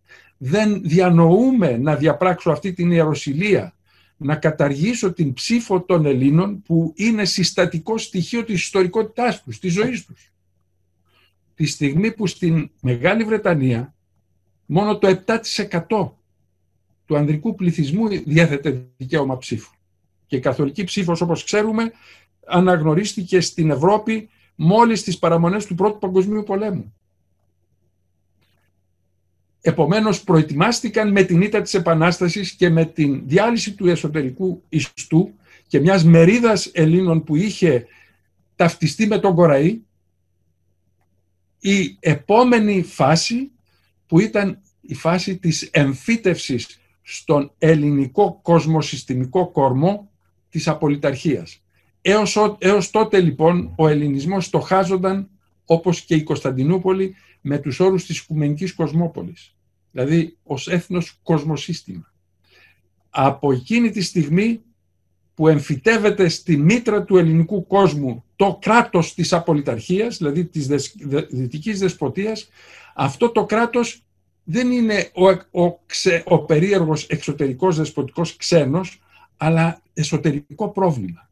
Και ως εσωτερικό πρόβλημα έπρεπε να επιληθεί και σε επίπεδο α, αναγνωρισιμότητας, δηλαδή νομιμοποίησής του, και σε επίπεδο ύπαρξης, σύγκρισης επομένως, έπρεπε να αναγνωριστεί ως ο κύριος παράγων του ελληνισμού και να απαξιωθεί οτιδήποτε έχει να κάνει με το παρελθόν, γιατί ήταν θέμα σύγκρισης, πώς συνέβαινε ο ελληνικός κόσμος μέσα στο νεοελληνικό κράτος στη διάρκεια του 19ου αιώνα να μεταναστεύει αφού πολέμησε για την ελευθερία του να μεταναστεύει στα Οθωμανικά εδάφη για να μπορέσει να βρει δουλειά και δεν μπορούσε μέσα στο νεοελληνικό κράτος.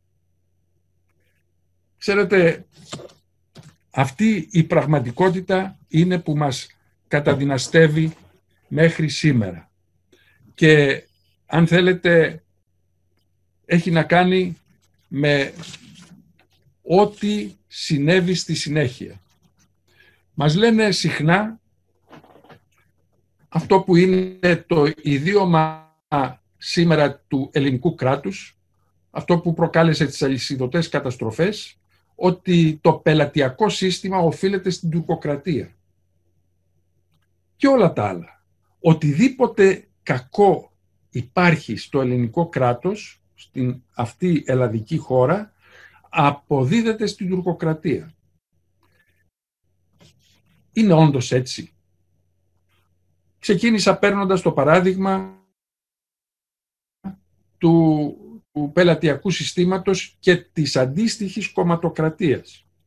Της μεταβολής δηλαδή του κόμματος που είναι ο διαμεσολαβητής μεταξύ κοινωνίας και πολιτικής ε, σε κυρίαρχο πολιτικό σύστημα το οποίο καταλύει τη φύση της εκλόγιμης μοναρχίας όπως λειτουργεί στην Ευρώπη. Ξέρουμε όλοι ότι όταν στην τουρκοκρατία, η οποία έχει άλλα δεινά βεβαίως, ως υποτελής σε δεσποτικό καθεστώς, αλλά όταν στην τουρκοκρατία ο άνθρωπος της συντροφίας, της συντεχνίας ή του κοινού είχε πρόβλημα, πήγαινε στο Δήμο, πήγαινε και έθετε το ζήτημα που είχε, όπως επίσης και εκεί που έπρεπε να λάβει και την σχετική βοήθεια, δηλαδή την κοινωνική πρόνοια. Όταν εισέρχεται στον ελληνικό κράτος και καταργείται ο Δήμος του κοινού και οι αντίστοιχοι θεσμοί, τι συμβαίνει; Ποιος τους παίρνει αυτούς; Τους παίρνει ο πολιτικός. Πού θα πάει λοιπόν ο πολίτης να βρει τη λύση στο πρόβλημά του αφού δεν είναι ο ίδιος συντελεστής της πολιτικής. Στον πολιτικό. Δεν χρειάζεται να πούμε πολλά. Οι μαρτυρίες στην περίοδο του Όθωνα ε, λένε ότι όταν ήταν να συνεδριάσει η Βουλή που υιοθετήθηκε κάποια στιγμή, όλοι οι Αττικοί και όχι μόνο προσέτρεχαν στο Σύνταγμα για να βρουν τους βουλευτές να πούν το, τον πόνο τους. Ε, στη Δύση τι συνέβαινε αλήθεια. Ξέρετε, πολλοί διαρωτώνται και εδώ το ίδιο πολιτικό σύστημα έχουμε που έχουμε και στη Δύση.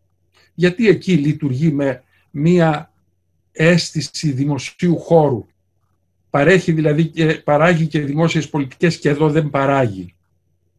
Γιατί κατησχύει εδώ το πολιτικό σύστημα, όχι γιατί το πελατειακό σύστημα, όχι γιατί δεν υπάρχουν εκεί πολιτικές πελατειακές σχέσεις, αλλά οι πελατειακές σχέσεις είναι περιορισμένες και δεν ανάγεται το, η πελατειακή σχέση σε σύστημα σχέσης κοινωνίας και πολιτικής. Όπως και το κόμμα σε κομματοκρατία. Γιατί συμβαίνει αυτό; Διότι δεν συναντιέται η κοινωνία με την πολιτική, με το πολιτικό προσωπικό σε επίπεδο θεσμών, αφού η κοινωνία στη διάρκεια της διακυβέρνησης είναι ένας ιδιώτης και απλώς μπορεί να διαδηλώσει ή να απεργήσει. Αλλά απ' την άλλη υπήρχε η ιδεολογία. Όποιος ήταν φιλελεύθερος, όπως ήταν δεξιός, όποιος ήταν αριστερός ή σοσιαλιστής ή οτιδήποτε ενδιάμεσο, ήξερε ότι υπάρχει μια πολιτική δύναμη η οποία ορκιζόταν στο όνομα της αντίστοιχης ιδεολογίας και συναντιόντουσαν σε αυτό το επίπεδο. Και την πλευρά της ψήφου. Άρα λίγο πολύ γνώριζαν ότι εκεί θα συναντηθούν με την πολιτική εξουσία. Στην, στον ελληνικό κόσμο αυτό δεν συνέβαινε. Διότι όταν κανείς εξέρχεται από τη δημοκρατία, παραμένει, χάνει το σώμα του συστήματος της δημοκρατίας, αλλά παραμένει στην, στο μυαλό του η πολιτική το η πολιτική νοοτροπία, δηλαδή η πολιτική ανάπτυξη της αντίληψης περί δημοκρατίας. Αυτός που έχει πολιτική ανάπτυξη δημοκρατίας λειτουργεί με όρους πολιτικής ατομικότητας, όχι ως μάζα. Αυτός που, έχει, που, που εξέρχεται από τη θεουδαρχία, που δεν έχει ιδέα για την πολιτική, όταν του δίνουν την ψήφο, ψηφίζει Χίτλερ. Δεν έχει άλλη αντίληψη των πραγμάτων. Δεν ελέγχει δηλαδή δεν έχει την αντίληψη του ελέγχου. Κρέμεται από τα χείλη του πολιτικού. Γι' αυτό η διαφορά μεταξύ αγέλης, λειτουργίας της πολιτικής αγέλης, μάζας και της πολιτικής ατομικότητας είναι τεράστια. Εδώ λοιπόν, στο μέτρο που ο πολίτης σκέφτεται και λειτουργεί με όρους δημο, πολι, ε, πολιτικής ανάπτυξης δημοκρατίας, ε, ουσιαστικά βγάζει τα μάτια του εαυτού του. Διότι πηγαίνει στον πολιτικό και ο πολιτικός δεν έχει κανένα λόγο να σκεφτεί με όρους συλλογικότητας, να παραγάγει δηλαδή δημόσιες πολιτικές που αφορούν στο σύνολο, διότι δημιουργεί το δίκτυο της πελατείας και μεταβάλλει τον πολίτη σε πελάτη. Άρα λοιπόν αυτό που ήταν το μέγιστο των επιχειρημάτων των ιδιωτήτων του ελληνικού κόσμου, η πολιτική ατομικότητα με πολιτική ανάπτυξη δημοκρατίας, γίνεται τώρα το μεγάλο μειονέκτημα που έχουμε φτάσει στο σημείο βέβαια σήμερα να θεωρούμε ότι είναι θέμα παιδείας, δηλαδή ότι ο Έλληνας δεν διαθέτει παιδεία. Δεν αναλογιζόμαστε γιατί. Το είπε όμως ο Τρικούπης, ξέρετε. Όταν συζητούσε και έλεγε πώς αυτό το κράτος θα πάψει να είναι πελατειακό και θα μπορέσει να παραγάγει δημόσιες πολιτικές. Είπε ότι πρέπει ο πολιτικός να απαλλαγεί του πολίτου. Να απαλλαγεί από τον πολίτη. Του γινόταν, όπως λέμε στην καθαρέμουσα, στενός κορσές. Άρα λοιπόν, ο πολίτης, όταν πηγαίνει μόνος του προσωπικά ως άτομο και δεν έχει το θεσμό για να λειτουργήσει με όρους συλλογικότητας, γιατί ως μάζα δεν μπορεί να λειτουργήσει, σημαίνει τι; Ότι συναντιέται σε προσωπική βάση πελατειακή με τον πολιτικό. Και άρα το πολιτικό σύστημα δεν παράγει πολιτικές συνολικού συμφέροντος, αλλά πολιτικές πελατειακές, φτιάχνει δηλαδή δίκτυα και από την άλλη μεριά καταλαμβάνει το πολιτικό σύστημα στο όνομα της βουλευτοκρατίας, όπως το λέγανε το 19ο αιώνα, της κομματοκρατίας, όπως, λέγεται, ε, όπως το λέμε στη συνέχεια. Το δεύτερο μεγάλο τόλμημα αυτής της πολιτικής τάξης της κομματοκρατίας ήταν να μην επιτρέψει, όπως είπαμε, στον μείζωνα ελληνισμό και δει στην αστική τάξη να εισέλθει στον ελληνικό κόσμο. Γιατί θα ήταν μια ενδιάμεση ισχυρή δύναμη που δεν θα της επέτρεπε να ιδιοποιηθεί το κράτος και την κοινωνία. Άρα το δημόσιο αγαθό. Αυτό συνέβη, ξέρετε, με, με την αντιστροφή των όρων της έννοιας μεγάλη ιδέα. Το διακήρυσαν το πρόταγμα αυτό ενώ οι ίδιοι δεν ήθελαν ποτέ να το πραγματοποιήσουν. Και γι' αυτό στη διάρκεια του 19ου αιώνα δεν έκαναν το παραμικρό βήμα να προετοιμάσουν προς αυτή την κατεύθυνση εκτός από ελάχιστες περιπτώσεις που ακυρώθηκαν στον δρόμο να οδηγήσουν, να δημιουργήσουν τις προϋποθέσεις που έπαιζαν μόνοι τους οι Έλληνες μέχρι το δεύτερο μισό, μέχρι την, τον πόλεμο της Κρυμαίας, δηλαδή μέχρι το δεύτερο μισό του, του 19ου αιώνα και το αποτέλεσμα ποιο ήταν; Να οδηγήσουν στο, στο 1897 που παραλίγο να χάσουμε πάλι την ανεξαρτησία μας.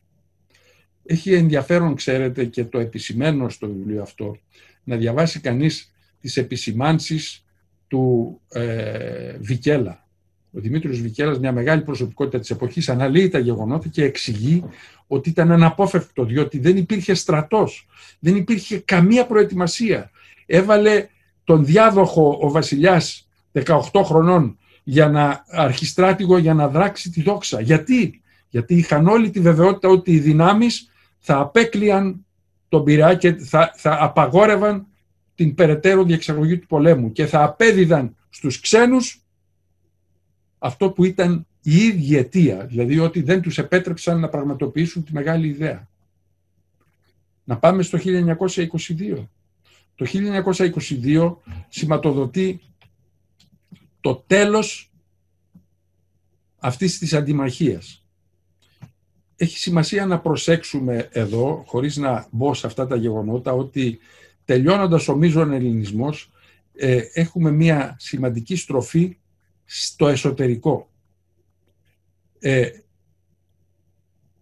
όσοι επικαλούνται την ελληνική συνέχεια παραμένουν πια μόνο στα εξωτερικά της γνωρίσματα.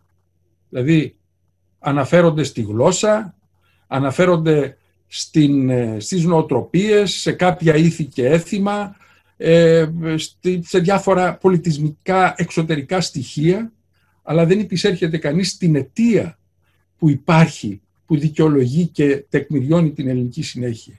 Ποια είναι αυτή η αιτία; Αυτό που στοιχειοθετεί την έννοια του έθνους, δηλαδή της συλλογικής ταυτότητας. Έχουμε πει ότι η, η, η έννοια του έθνους, άρα της συλλογικής ταυτότητας, υπάρχει εκεί που οι κοινωνίες είναι ελεύθερες, δηλαδή στον ανθρωποκεντρισμό. Γι' αυτό και ο ελληνικός κόσμος είχε από την καταβολή του την αρχαιότητα μέχρι τους νεότερους χρόνους με πολλές αλλαγές στον δρόμο ε, εθνική ταυτότητα. Γιατί ήταν ελεύθερος, συγκροτούνταν ελεύθερος και είχε πολιτικό πρόταγμα έθνους κοσμόπολης, έθνους κόσμο συστήματος και όχι που συμπεριλαμβανόνταν και οι πόλεις και όχι έθνους απολυταρχικού κράτους. Άρα λοιπόν έχουμε στην περίοδο αυτή μία αποξένωση παρόλο και από αυτούς οι οποίοι αναφέρονται στην ελληνική συνέχεια έχουμε μία αποξένωση από τις θεμέλιες βάσεις του ελληνικού πολιτισμού και αποδοχή του κράτους της απολυταρχίας. Δηλαδή ενός αυτού του κράτους το οποίο ενσαρκώνει το έθνος και που οι αυθεντικοί εκφραστές του είναι εκείνοι που δεν δέχονται ότι υπήρχε έθνος πριν από το κράτος, γιατί εκείνοι ισχυρίζονται ότι το έθνος είναι νεότερο δημιουργήμα, δυτικό δημιουργήμα. Είναι και αυτό ψευδές, ξέρετε. Όχι μόνο γιατί ο ελληνισμός είχε ταυτότητα συλλογική και άρα έννοια έθνους, αλλά γιατί δεν είναι ακόμα και το νεότερο έθνος, δεν είναι δημιούργημα δυτικό. Οι δυτικοί προσχώρησαν στην έννοια του έθνους που ήδη υπάρχει και που το διαβάζουν μέσα στην ελληνική γραμματεία από τον Ηρόδοτο και τους επόμενους, αλλά και που το αναπαράγουν μέσω του Βυζαντίου. Ένα είναι αυτό. Δεν το δημιουργεί το κράτος. Αντιθέτως, το δημιουργούν οι ανθρωποκεντρικοί φύλακες που αναπτύσσονται μέσα στα κοινά, στις πόλεις και στις συντεχνίες, άρα σε αυτό που τους μετακένωσε ο ελληνικός κόσμος, με την νομισματική οικονομία και που το αντιτείνουν το έθνος αυτό, την αντίληψη δηλαδή της πολιτισμικής συνάντησης των ανθρώπων μιας κοινωνίας και όχι της ταύτιστής του με τον απολυταρχικό μονάρχη, ε, το αντιτείνουν στο μονάρχη για να τον διώξουν και να πούν ότι το κράτος αυτό θα αντιπροσωπεύει το έθνος. Αλλά ελάτε όμως που εδώ κάνουν μια περίτεχνη κατασκευή, επινόηση, για να δικαιολογήσουν μέσω του έθνους το σκοπό αυτού του πολιτικού συστήματος που, της μοναρχίας που το ενσαρκώνει, της εκλόγιμης μοναρχίας που το ενσαρκώνει το κράτος. Μας λένε ότι υπάρχει το έθνος του κράτους, όχι της κοινωνίας. Με άλλα λόγια, όπως θα μας απειλήσουν κιόλας, η, εάν αποφασίσουμε να αλλάξουμε το πολιτικό σύστημα, το λένε ρητός, και αποδώσουμε το πολιτικό σύστημα στην κοινωνία, άρα εγκαθιδρύσουμε αντιπροσώπευση ή δημοκρατία, τότε το κράτος, θα, τότε το έθνος θα πάψει να έχει ρόλο, γιατί ο ρόλος του είναι να νομιμοποιεί αυτό το πολιτικό σύστημα του κράτους. Αφού λοιπόν θα πάψει αυτό το κράτος να υπάρχει, άρα δεν θα υπάρχει και το έθνος. Δεν μπορούν να αντιληφθούν ότι το κράτος αυτή τη στιγμή εμφανίζεται να έχει, να προσλαμβάνει και να μας διδάσκει την έννοια ενός έθνους το οποίο είναι νοητό αλλά που δεν περιλαμβάνει την κοινωνία και την ευθύνη του την έχει αυτό. Και όταν λέμε το κράτος, δηλαδή ο Πρωθυπουργός, αυτός αποφασίζει τι είναι εθνικό και τι όχι. Αυτός θα συνάψει τις συνθήκες και θα καταλήξει στο αποτέλεσμα τι θα γίνει με την Τουρκία, τι θα γίνει με με, τους, με την διασπορά, τι θα γίνει με το δημοσιονομικό σύστημα, τι θα γίνει με τα Σκόπια, με οτιδήποτε. Η κοινωνία μπορεί να συμπήξει συλλογικότητα και να αντιτείνει ή μέσω των δημοσκοπήσεων, αλλά έχει το δικαίωμα να μην τη λάβει υπόψη του. Αυτό λοιπόν το γεγονός, αυτό, αυτή λοιπόν η αυθεντική αντίληψη επιτρέπει σε αυτό το κράτος να νομιμοποιηθεί έχοντας απαξιώσει τον ιστορικό ελληνισμό και συγχρόνως ό,τι έκανε και η Δύση, έχοντας πραγματοποιήσει και μία ρήξη με τις έννοιες. Ποια είναι η ρήξη με τις έννοιες; Παρέλαβε την έννοια της δημοκρατίας, την έννοια της ελευθερίας, την έννοια της ισότητας, την έννοια της δικαιοσύνης, όλες τις έννοιες που έχουν να κάνουν με τη ζωή των ανθρώπων, τους αφαίρεσε το περιεχόμενο με το οποίο ενδύθηκαν τότε που δημιουργήθηκαν και που σταδιοδρόμησαν στον ελληνικό κόσμο, όπως είπα, σε 2.500 χρόνια και όχι μόνο σε 1,5 αιώνα όπως διατείνονται για τη δημοκρατία και τα άλλα. Και σε αυτό το πλαίσιο έδωσαν αυτές τις έννοιες για να περιγράψουν το αντίθετό τους, τη μοναρχία, την ατομική μόνο ελευθερία και μάλιστα για να μας πούν ότι η ατομική ελευθερία είναι ασύμβατη με την συλλογική ελευθερία, εννοώντας βεβαίως όχι την πολιτική ελευθερία και αυτοκυβέρνηση, αλλά συλλογικό εννοώντας το, ε, το κράτος του Πρωθυπουργού ή του Προέδρου ή, εν πάση περιπτώσει, αυτό το κράτος της εκλόγιμης μοναρχίας. Δεν είναι αυτό το συλλογικό. Αυτοί εκφράζουν το συλλογικό, διότι στη μοναρχία αυτοί το εκφράζουν.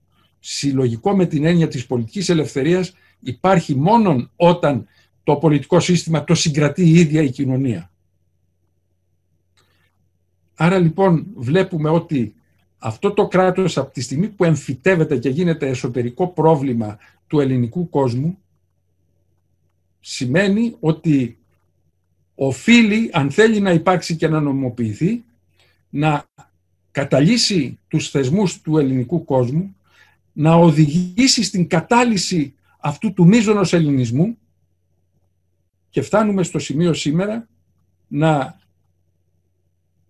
η νέα περίοδος που αρχίζει ουσιαστικά από τη μεταπολίτευση να καταγίνεται ουσιαστικά με αυτό που το αποκαλώ ως αλλαγή λαού. Αν διαβάσουμε όλους αυτούς που ιστορούν και μάλιστα με βάση την επιτροπή αυτή που δημιούργησε αυτό το κράτος για να δοξάσει τα πεπραγμένα του κράτους και δει μιας εκδοχής αυτού του κράτους ε, θα, θα μας πούν ότι στην πραγματικότητα αυτός, αυτό το κράτος πραγματοποίησε το μείζον. Ότι πήρε την Ελλάδα από την Πελοπόννησο και την πήγε στον Εύρο. Αυτό δηλώνει ότι κατάφερε να καταλύσει τον μείζωνα ελληνισμό όχι μόνο ως πληθυσμιακή πραγματικότητα αλλά και ως οικουμενική, ως εκκλησιαστική, ως πολιτισμική, ως προς όλα. Αρκεί να σας πω ότι ο ελληνικός πληθυσμός, όπως υπολογίζεται από τον Καποδίστρια και τους άλλους, λίγο πριν την Επανάσταση, ήταν μεγαλύτερος από τον, από τον πληθυσμό της Μεγάλης Βρετανίας, της νήσου δηλαδή της Μεγάλης Βρετανίας, και περίπου ίσιος με τον πληθυσμό τον ε, Οθωμανικό της περιοχής, τον μουσουλμανικό της περιοχής. Ε, τι σημαίνει αυτό; Πώς γίνεται και η Τουρκία γίνεται τόσα εκατομμύρια σήμερα, η Αγγλία και όλες οι ευρωπαϊκές χώρες και ο ελληνικός πληθυσμός, δεν, τα άλλα τα ξέρουμε, δεν, γι' αυτό δεν τα επικαλούμε, και ο ελληνικός πληθυσμός διατηρεί το ίδιο, τον ίδιο αριθμό δημογραφικά που είχε πριν από την Επανάσταση. Να υποθέσουμε ότι αυτοκτόνησε μόνος του ή ότι υπήρξε ένα κράτος το οποίο ασχολήθηκε αποκλειστικά με αυτό. Σήμερα λοιπόν αυτό που συμβαίνει είναι επειδή καθάρισε τους λογαριασμούς του με τον μείζωνα ελληνισμό και τους θεσμούς του ασχολείται με την νομιμοποίησή του στο εσωτερικό της χώρας. Και εδώ συναντιέται με αυτό που θα αποκαλέσουμε διεθνή των αγορών. Τι θέλει μεταξύ των άλλων η διεθνή των αγορών; Τι αντιμάχεται; Αντιμάχεται την πολιτισμική συλλογικότητα γιατί θέλει την ελεύθερη διακίνηση της εργασίας αφενός και δεύτερον την κάμψη των εσωτερικών αντιστάσεων. Εάν μια κοινωνία είναι πολυπολιτισμική, προσέξτε, κάθε κοινωνία είναι, κάθε εθνική κοινωνία είναι πολυπολιτισμική, αλλά δεν είναι πολυεθνική. Και όπου οι κοινωνίες, τα κράτη υπήρξαν πολυεθνικά, διελήφθησαν γιατί μετέφεραν τις διακρατικές σχέσεις που είναι σχέσεις δύναμης και πολέμου στο εσωτερικό τους και έγιναν εμφύλοι. Το βλέπουμε και σήμερα τι γίνεται στον κόσμο, που υπάρχουν αυτές οι αιστείες. Αλλά ε, στην πραγματικότητα αυτό που συμβαίνει είναι ότι οι νοοτροπίες ενοχλούν.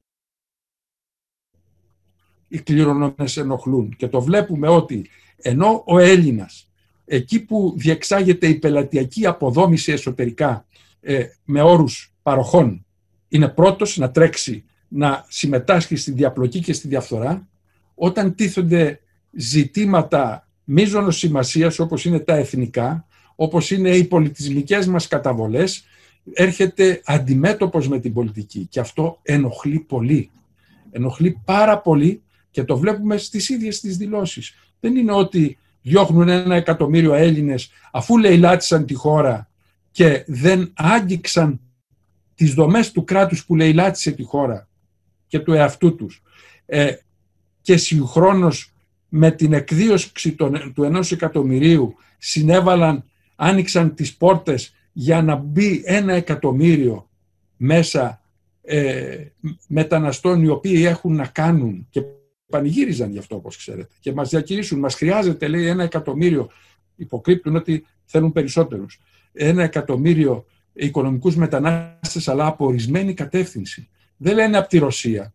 Δεν λένε να μεταφέρουμε τους δεινοπαθούντες Έλληνες της Ουκρανίας. Δεν λένε να μεταφέρουμε ή να επαναφέρουμε τους Έλληνες της Διασποράς ή Ευρωπαίους ή από άλλες χώρες οι οποίες ε, εμφανίζουν μια σχετικά πολιτισμική συγγένεια με τον ελληνικό κόσμο επειδή ο Έλληνας δεν εναρμονίστηκε, δεν εξευρωπαίστηκε εξεπόψεως νοοτροπίας, δηλαδή προβάλλει την πολιτική αντίσταση της συλλογικότητάς του και αμφισβητεί αυτή την τάξη, έρχονται και λένε θα σας θα αλλάξουμε λαό αφού δεν είναι ανατάξιμος ο λαός. Αντί δηλαδή να εναρμονιστεί το πολιτικό σύστημα με την κοινωνική συλλογικότητα και την πολιτική ανάπτυξη της κοινωνίας, ενοχοποιείται αυτή ως κατώτερη και μία έχουσα παιδεία, αλλά φέρνουν όλο αυτό το εξωτερικό γεγονός για να μεταφέρουν τη χώρα στη Μέση Ανατολή, δηλαδή στην, στον πολιτισμό της Μπούργας. Γιατί περί αυτού πρόκειται. Δεν είναι το ζήτημα οικονομική μετανάστευση και άρα έστω να το διαχειριστούμε με τους όρους της, των αναγκών μας. Δεν είναι το θέμα πια των περίκλειστων συνόρων, αλλά μιας πολιτικής η οποία θα συνεκτιμά αυτό που είναι η οικονομική μετανάστευση. Η οικονομική μετανάστευση δεν είναι οικονομικός όρος. Η οικονομική μετανάστευση έχει γεωπολιτικές ε, συνέπειες, έχει ε, πολιτικές συνέπειες, έχει πολιτισμικές συνέπειες, έχει πάρα πολλές συνέπειες τις οποίες οφείλουμε να συνεκτιμήσουμε όπως πολλοί ευρωπαϊκοί λαοί, όλοι σχεδόν οι ευρωπαϊκοί λαοί τους συνεκτιμούν για να αποφασίσουν τι πολιτική θα ακολουθήσουν αν προκειμένου. Εδώ λοιπόν έχουμε μια διακηρυγμένη, είναι η μία αυτή διακηρυγμένη αρχή η οποία αντιστρατεύεται σε συνάφεια με την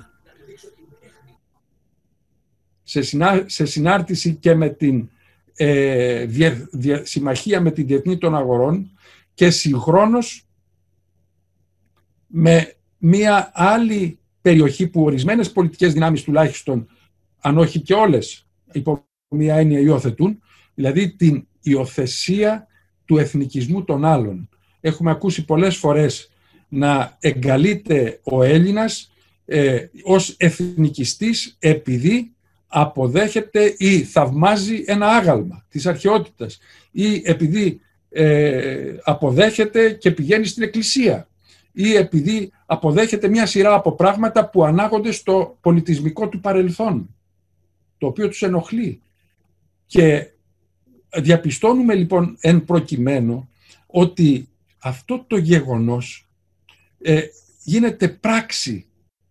Γίνεται πράξη. Είναι χαρακτηριστικό όχι μόνο το φαινόμενο της διαχείρισης της διασποράς πια, που δεν ανήκει στον μείζωνα ελληνισμό, όπου εκεί θεωρούμε ότι οι άνθρωποι, του, οι Έλληνες του μείζωνος ελληνισμού είναι, αποτελούν κίνδυνο για την Ελλάδα, χρειάζονται, μας χρειάζονται για να τους χειραγωγήσουμε, αλλά ε, έως εκεί, διότι επειδή δεν σκέφτονται εθνικά και όχι με όρους κομματοκρατίας, τους θέλουμε απ' έξω. Γι' αυτό και δεν τους δίνουμε ούτε καν ψήφο. Κατά την ίδια έννοια που όταν έρχεται η στιγμή να διαπραγματευτούμε με τους Κοπιανούς, όλη η πολιτική τάξη συμφωνεί με τη λύση και συμφωνούσε και πριν, απλώς δεν το δήλωνε γιατί φοβόταν την ψήφο, την, την τιμωρητική ψήφο της κοινωνίας. Δεν έχει σημασία ποιος συμφωνεί και ποιος διαφωνεί με τη λύση που δόθηκε. Συμφωνία, σημασία έχει ότι αυτό που δηλώθηκε στη Βουλή τη στιγμή της συμφωνίας. Δεν μας, δεν μας ενοχλεί ο εθνικισμός των άλλων, μας ενοχλεί ο εθνικισμός των Ελλήνων. Η συλλογική αντίσταση ουσιαστικά των Ελλήνων. Γιατί εκχωρώντας εθνική ταυτότητα, αυτό που έγινε στην περίπτωση των Σκοπίων, στην πραγματικότητα δημιουργούμε τους όρους της εκχώρησης, δηλαδή της ταύτισης του ελληνικού κόσμου με αυτό που είναι το ελλαδικό κράτος. Σου λέει Μακεδονία. Μακεδονία δεν είναι μόνο η αρχαία, ξέρετε. Ο διάλογος δεν έγινε για τη Μακεδονία των Βυζαντινών ή τη Μακεδονία των ελληνιστικών χρόνων. Έγινε για την αρχαία. εκεί που ο τότε Πρωθυπουργός είπε ε, ας μην θέλουν τον Αλέξανδρο μόνο δικό τους. Με άλλα λόγια, ο διαμοιρασμός εθνικού προσήμου είναι χειρότερος από το διαμοιρασμό εδάφους. Αυτό λοιπόν συνέβη διότι κατά την ίδια έννοια ε, προσδοκάται με αυτόν τον τρόπο ό,τι γίνεται στο εκπαιδευτικό σύστημα, ό,τι γίνεται και αλλού, να προσαρμοστεί ο εναπομένων ελλαδικός κόσμος στην λογική και στην οτροπία του ελλαδικού κράτους, του ελλαδικού πολιτικού και οικονομικού συστήματος, δηλαδή της κομματοκρατίας και εν εναντία περιπτώσει να γίνει και η πρόσμιξη με άλλους ώστε να δημιουργηθούν οι όροι της πολυεθνικότητας ώστε τόσο το οικονομικό όσο το, το εκπαιδευτικό όσο και όλα τα άλλα πολιτισμικά μεγέθη του ελληνικού κράτους να προσαρμοστούν στις συνθήκες της νέας κοινωνίας. Αυτό είναι το κεντρικό ζήτημα. Και σε αυτό το κεντρικό ζήτημα, ξέρετε, υπάρχει μια πραγματικότητα.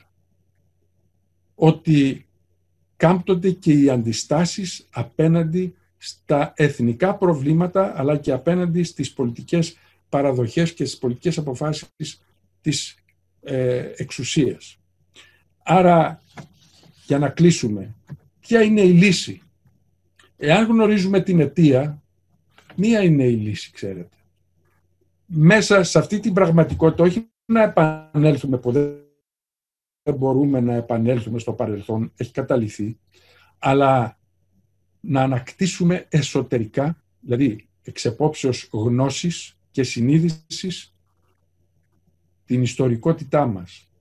Να ξέρουμε τι ήταν ο ελληνικός κόσμος που δημιούργησε αυτό τον ελληνικό πολιτισμό, άρα γιατί τον δημιούργησε και γιατί ήταν σε αυτό το επίπεδο και να κοιτάξουμε πώς θα διαμορφώσουμε έτσι τις συνθήκες ώστε να μην ενοχοποιούμε τον υγιή που όμως τον έχουμε εντάξει σε ένα σύστημα που του προκαλεί δύσμορφες συμπεριφορές, αλλά να θεραπεύσουμε τον ασθενή, που είναι το κράτος, το πολιτικό σύστημα.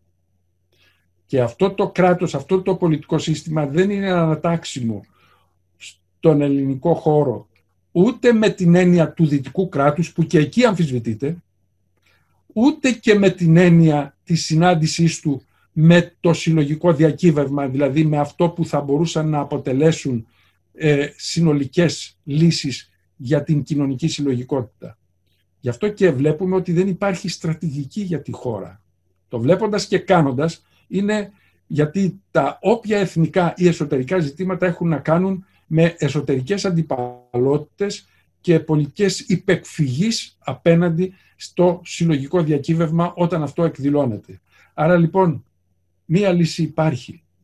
Να στοχαστούμε πώς ζούσαν οι Έλληνες, πώς κυβερνιόταν και να διεκδικήσουμε αυτό που μας λείπει και μας αφαίρεσαν. Την συνολική μας ελευθερία, άρα την κοινωνική και πολιτική μας ελευθερία που δεν έχουμε, όπως δεν έχει και κανείς άλλο στον κόσμο πια, εννοείται, αλλά κυρίως μέσω αυτής τη μεταβολή πολιτείας. Δεν υπάρχει άλλος τρόπος με την εναλλαγή στην εξουσία απλώς θα οδηγούμαστε από το κακό στο χειρότερο. Δεν υπάρχει άλλος τρόπος να συναντηθεί η πολιτική με την κοινωνική συλλογικότητα στην Ελλάδα παρά ένας και μόνο ένας. Να διαμορφωθεί ένα πολιτικό σύστημα προσωμείωσης θα έλεγα προς την αντιπροσώπευση ώστε ο πολιτικός να ξέρει ότι θα βλέπει, θα ζει την ανάσα της κοινωνίας καθημερινά και θα είναι υποχρεωμένος να διαπράττει, να διαμορφώνει μείγμα πολιτικής που θα έχει τη συνένεση της σύνολης κοινωνίας. Και όχι το αντίθετο. Εμπιστοσύνη στον εαυτό μας, εμπιστοσύνη στην κοινωνία και στη συλλογικότητα, στη γνώμη και στη γνώση της συλλογικότητας, αυτό είναι το εθνικό συμφέρον. Από το έθνος του κράτους να πάμε στο έθνος της κοινωνίας. Σας ευχαριστώ. Ευχαριστούμε πάρα πολύ κύριε καθηγητά.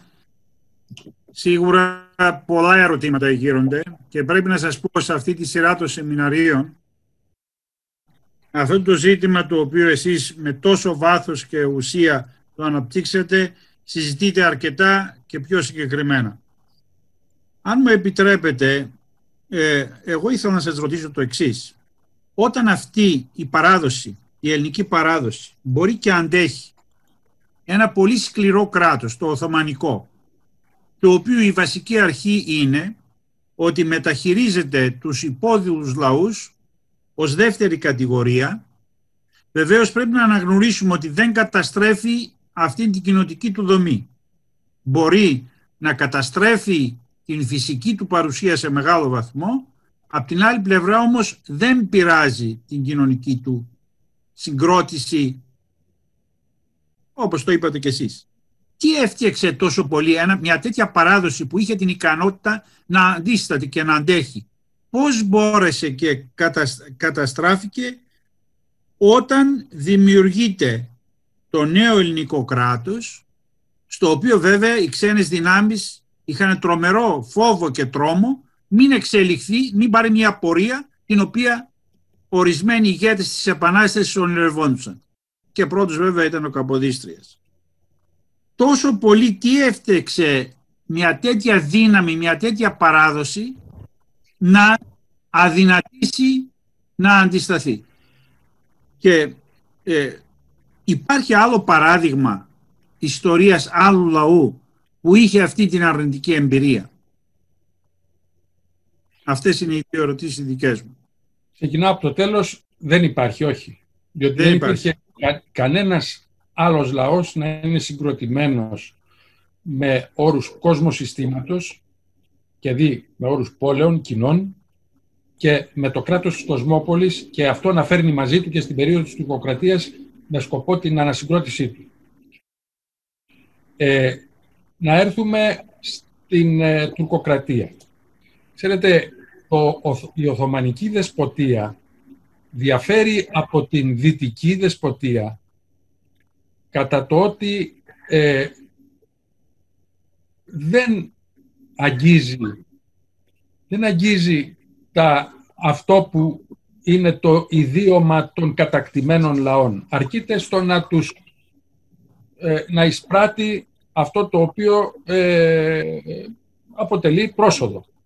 Ε, είναι χαρακτηριστικό γνώρισμα ότι οι, ε, οι Οθωμανοί ε, δεν κατέλησαν πουθενά τα κοινά.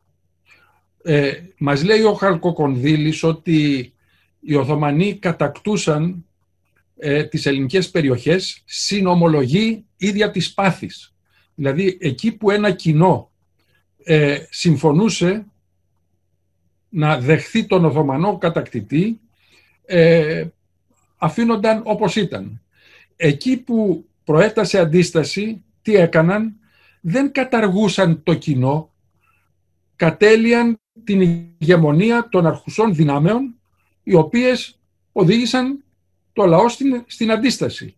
Άρα ερχόντουσαν άλλοι και εκλεγόντουσαν. Είναι χαρακτηριστική η περίπτωση στη Βέρεια, ξέρετε. Ένας ο οποίος ε, παρέδωσε την πόλη, ε, έλαβε ισόβιο προνόμιο να μην φορολογείται. Κάθε χρόνο το κοινό της Βέρειας προσπαθούσε να το καταργήσει μέχρι και το 19ο αιώνα. Και δεν κατάφερνε γιατί αυτή η οικογένεια επικαλούνταν ακριβώς το προνόμιο που είχαν για να καταλύσουν το κοινό. να το καταλάβουν μάλλον, γιατί προέταξε αντίσταση. Ήταν ο μόνος από τους ηγέτες της εποχής που συνομολόγησε και τους έφερε μέσα. Ε, ο Οθωμανός κατακτητής δεν είχε σχέση με το άτομο Έλληνα χριστιανό.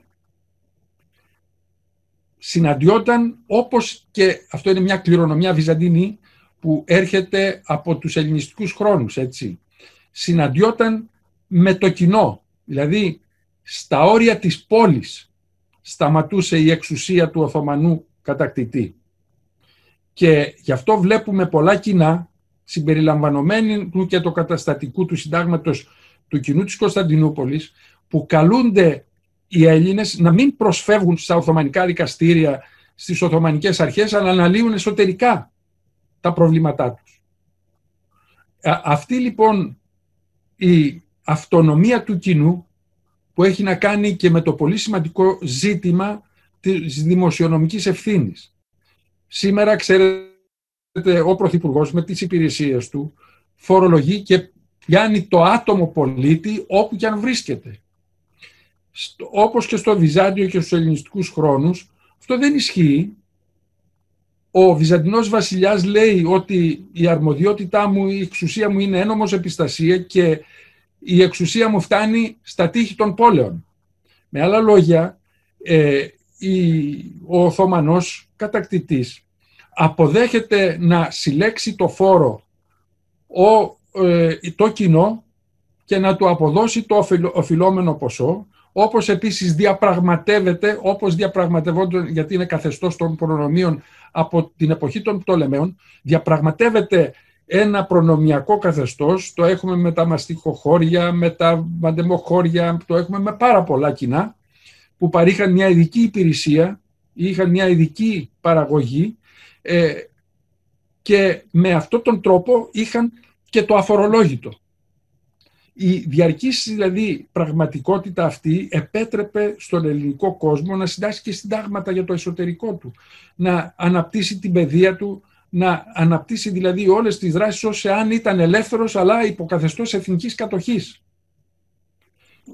Και αν πάμε λίγο παραπέρα θα διαπιστώσουμε ότι αυτό το καθεστώς ισχύει και επιτρέπει και στις δυνάμεις του ελληνισμού να υπερβαίνουν τα κοινά, έχοντας όμως ως αφετηρία τα κοινά και να δρουν σε επίπεδο Οθωμανικής εξουσίας.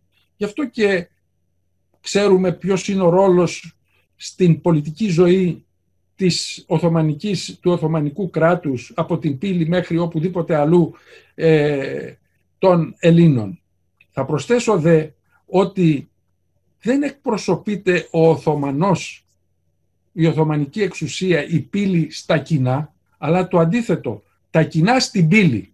Εκεί δηλαδή που είναι ο δικαιούχος των προσόδων, υπάρχει εκπρόσωπος του κοινού και όχι το αντίθετο. Αυτή λοιπόν η πραγματικότητα είναι που διέσωσε τον ελληνισμό. Αυτό δεν ισχύει στην περίπτωση της Δύσεως. Η Δυτική Δεσποτεία που είναι εξίσου ίδια με την Ανατολική, την Ασιατική Δεσποτεία, μια πολιταρχία κρατική δηλαδή, ε, έχει, ε, ε, έχει στο εσωτερικό της μια άλλη δυναμική των πόλεων, των κοινών. Αν εξαιρέσουμε την Ιταλία που η αναγέννηση και άρα η αυτονομία των πόλεων, η εξαρτησία των πόλεων έγινε με τους όρους του Βυζαντίου, γι' αυτό και δεν έχουμε απολυταρχικό κράτος στην Ιταλία, ε, πέραν των Άλπαιων πηγαίνει ο απόϊχος των κοινών και της εταιρικής και της νομισματικής οικονομίας. Έτσι λοιπόν η πρώτη δυναμική εξόδου από την ε, φεουδαρχία, από το Μεσαίωνα, ε, οφείλεται στα κοινά, που όμως είναι τριτοκοσμικά, ολιγαρχικά δηλαδή. Και που όμως επειδή ακριβώς εκεί αναπτύσσεται και η νομισματική οικονομία, επιτρέπει σε κάποιον κάτοχο του φέουδου να καταλάβει το δεύτερο, να καταλάβει το τρίτο και να φτιάξει αυτό το ε, δεσποτικό κράτος της απολυταρχίας στη συνέχεια. Άρα το κράτος της απολυταρχίας εχθρεύεται το κοινό, την πόλη και την εταιρική οικονομία, διότι είναι ανταγωνιστικό και μέσα από το κοινό βγαίνουν εκείνοι οι οποίοι θέλουν την κατάλυση της απολυταρχίας για να εγκαθιδρυθεί στη συνέχεια το κράτος έθνος. Γι' αυτό και έρχονται και στην Ελλάδα, στον ελληνικό κόσμο και καταλύουν τα κοινά. Τα καταλύουν όμως για εδώ και για τον πρόσθετο λόγο ότι εδώ είναι η μήτρα αυτού του ελληνικού κόσμου και δεν μπορεί να νομιμοποιηθεί αυτό το κράτος εάν υιοθετήσει τα κοινά. Δεν μπορεί να είναι πολιταρχικό κράτος και να έχει αυτονομία των κοινών με δημοκρατική υποστασιοποίηση. Στη Δύση ήταν ολιγαρχικά τα κοινά, αλλά είχαν αυτή τη δυναμική. Και επειδή ήταν και σε αντιπαλότητα, διαπιστώνουμε ότι στο τέλος του 10ου αιώνα, 19ου αιώνα καταργούνται τα κοινά και η εταιρική οικονομία με ποιο επιχείρημα; Ότι είναι κατάλοιπα του φέουδου. Όπως καταργείται δηλαδή η φεουδαρχία, καταργούνται και τα κοινά. Για να τα ενοχοποιήσουν προκειμένου να μην ε, συνεχίσουν να είναι ανταγωνιστικά και να νομιμοποιηθούν στην κατάργησή τους. Βλέπουμε δηλαδή ότι έχουμε μία τελείως διαφορετική πορεία και ξέρετε πόσο πολύ επιμένουν οι Έλληνες στην τουρκοκρατία, ε, στην ε, επιβίωση των κοινών. Είχα την ευκαιρία να σχολιάσω και να μελετήσω, είναι υποδημοσίευση, ε, το κοινό, το Σύνταγμα των Καλυμνίων, που ήταν μια ναυτική, ένα ναυτικό νησί. Είναι μια ταύτιση οικονομικής και πολιτικής δημοκρατίας, όπου όλα γίνονται μέσα στο κοινό. Πότε, προς, προς το τέλος του 19ου αιώνα, όταν έχουν το παράδειγμα του ελληνικού κράτους, που καταργεί τα κοινά. Και διαπιστώνουμε ότι εκεί κινούνται ακόμα οι Έλληνες αυτοδύναμα με βάση το ιστορικό τους καθεστώς των κοινών και της δημοκρατίας μέσα στα κοινά. Δημοκρατία στο οικονομικό σύστημα που να τη διανοηθεί κανείς σήμερα και δημοκρατία στο πολιτικό σύστημα. Άρα διαπιστώνουμε δηλαδή ότι η, η συνύπαρξή τους ή η ενσωμάτωσή τους στον ελληνικό κόσμο για εκείνη την εποχή ήταν α, απολύτως αδύνατη. Πρώτα-πρώτα δεν θα την επέτρεπαν οι δυνάμεις. Γι' αυτό και όχι μόνο έφτιαξαν ένα θυνσιγενές προτεκτοράτο, ξέρετε το εξοραίσαμε, εξοραίσαμε την έννοια του προτεκτοράτου αναφερόμενοι στην έννοια της προστασίας. Περίπου δηλαδή μας προστάτευαν από τους Οθωμανούς. Αυτό θέλουν να μας πούν.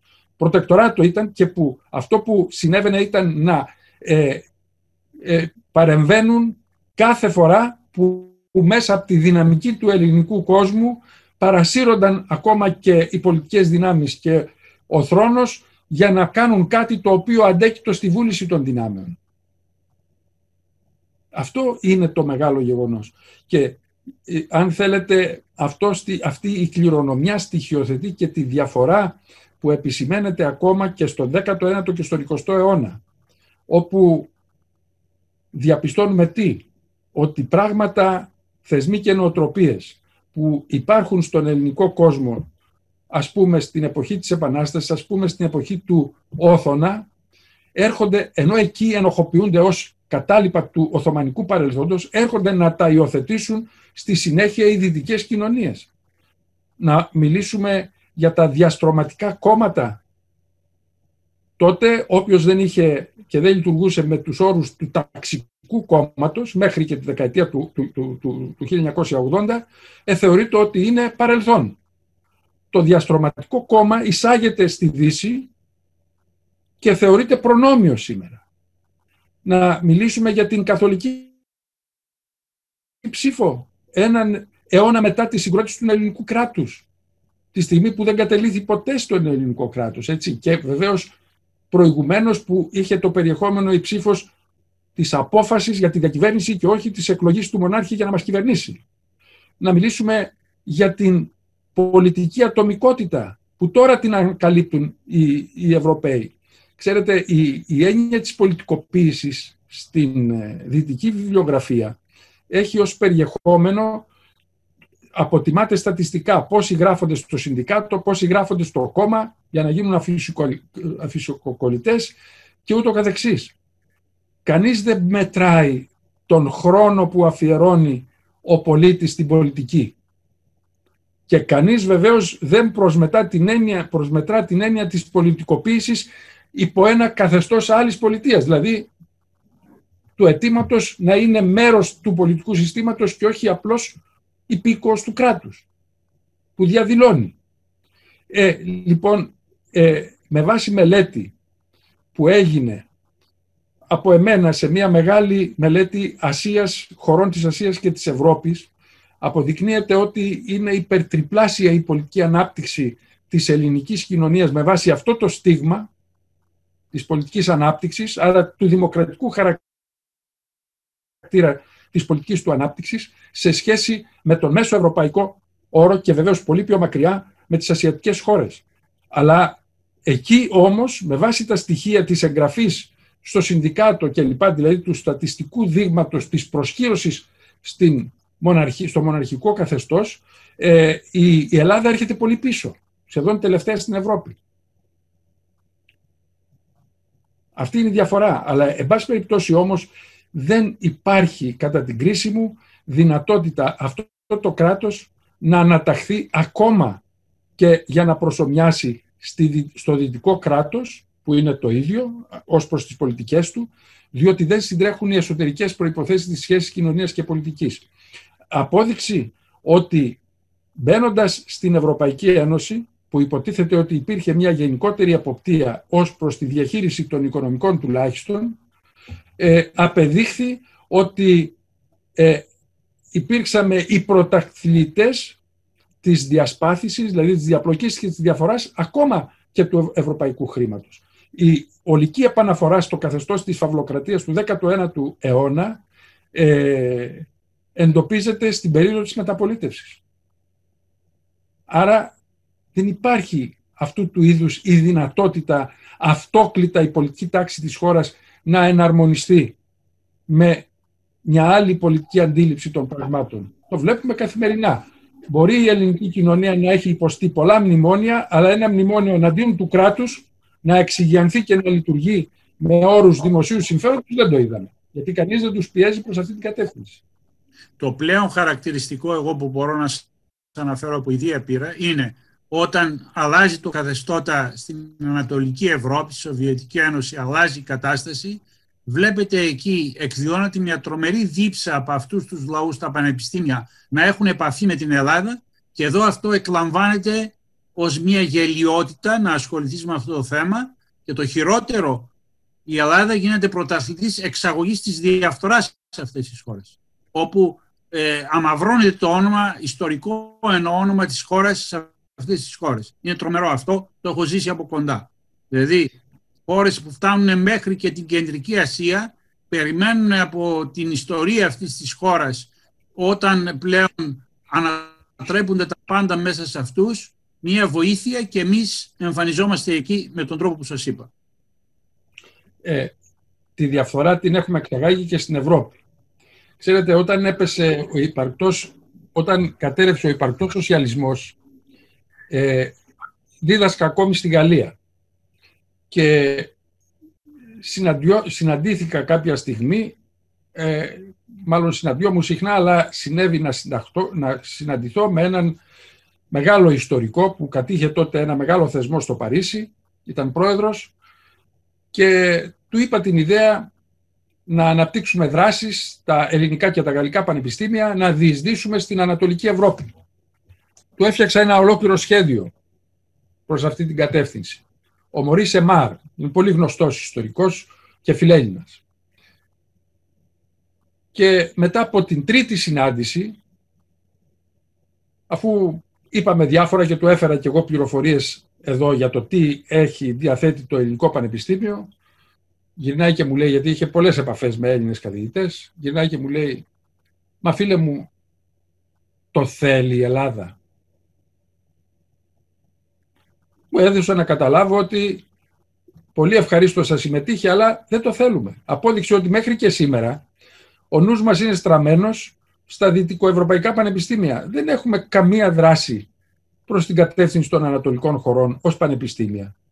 Ε, όταν η ελληνική οικονομία διείσδησε σε αυτές τις χώρες, ε, θεωρήθηκε ότι υπήρχε, είχε δημιουργηθεί ένα θαύμα.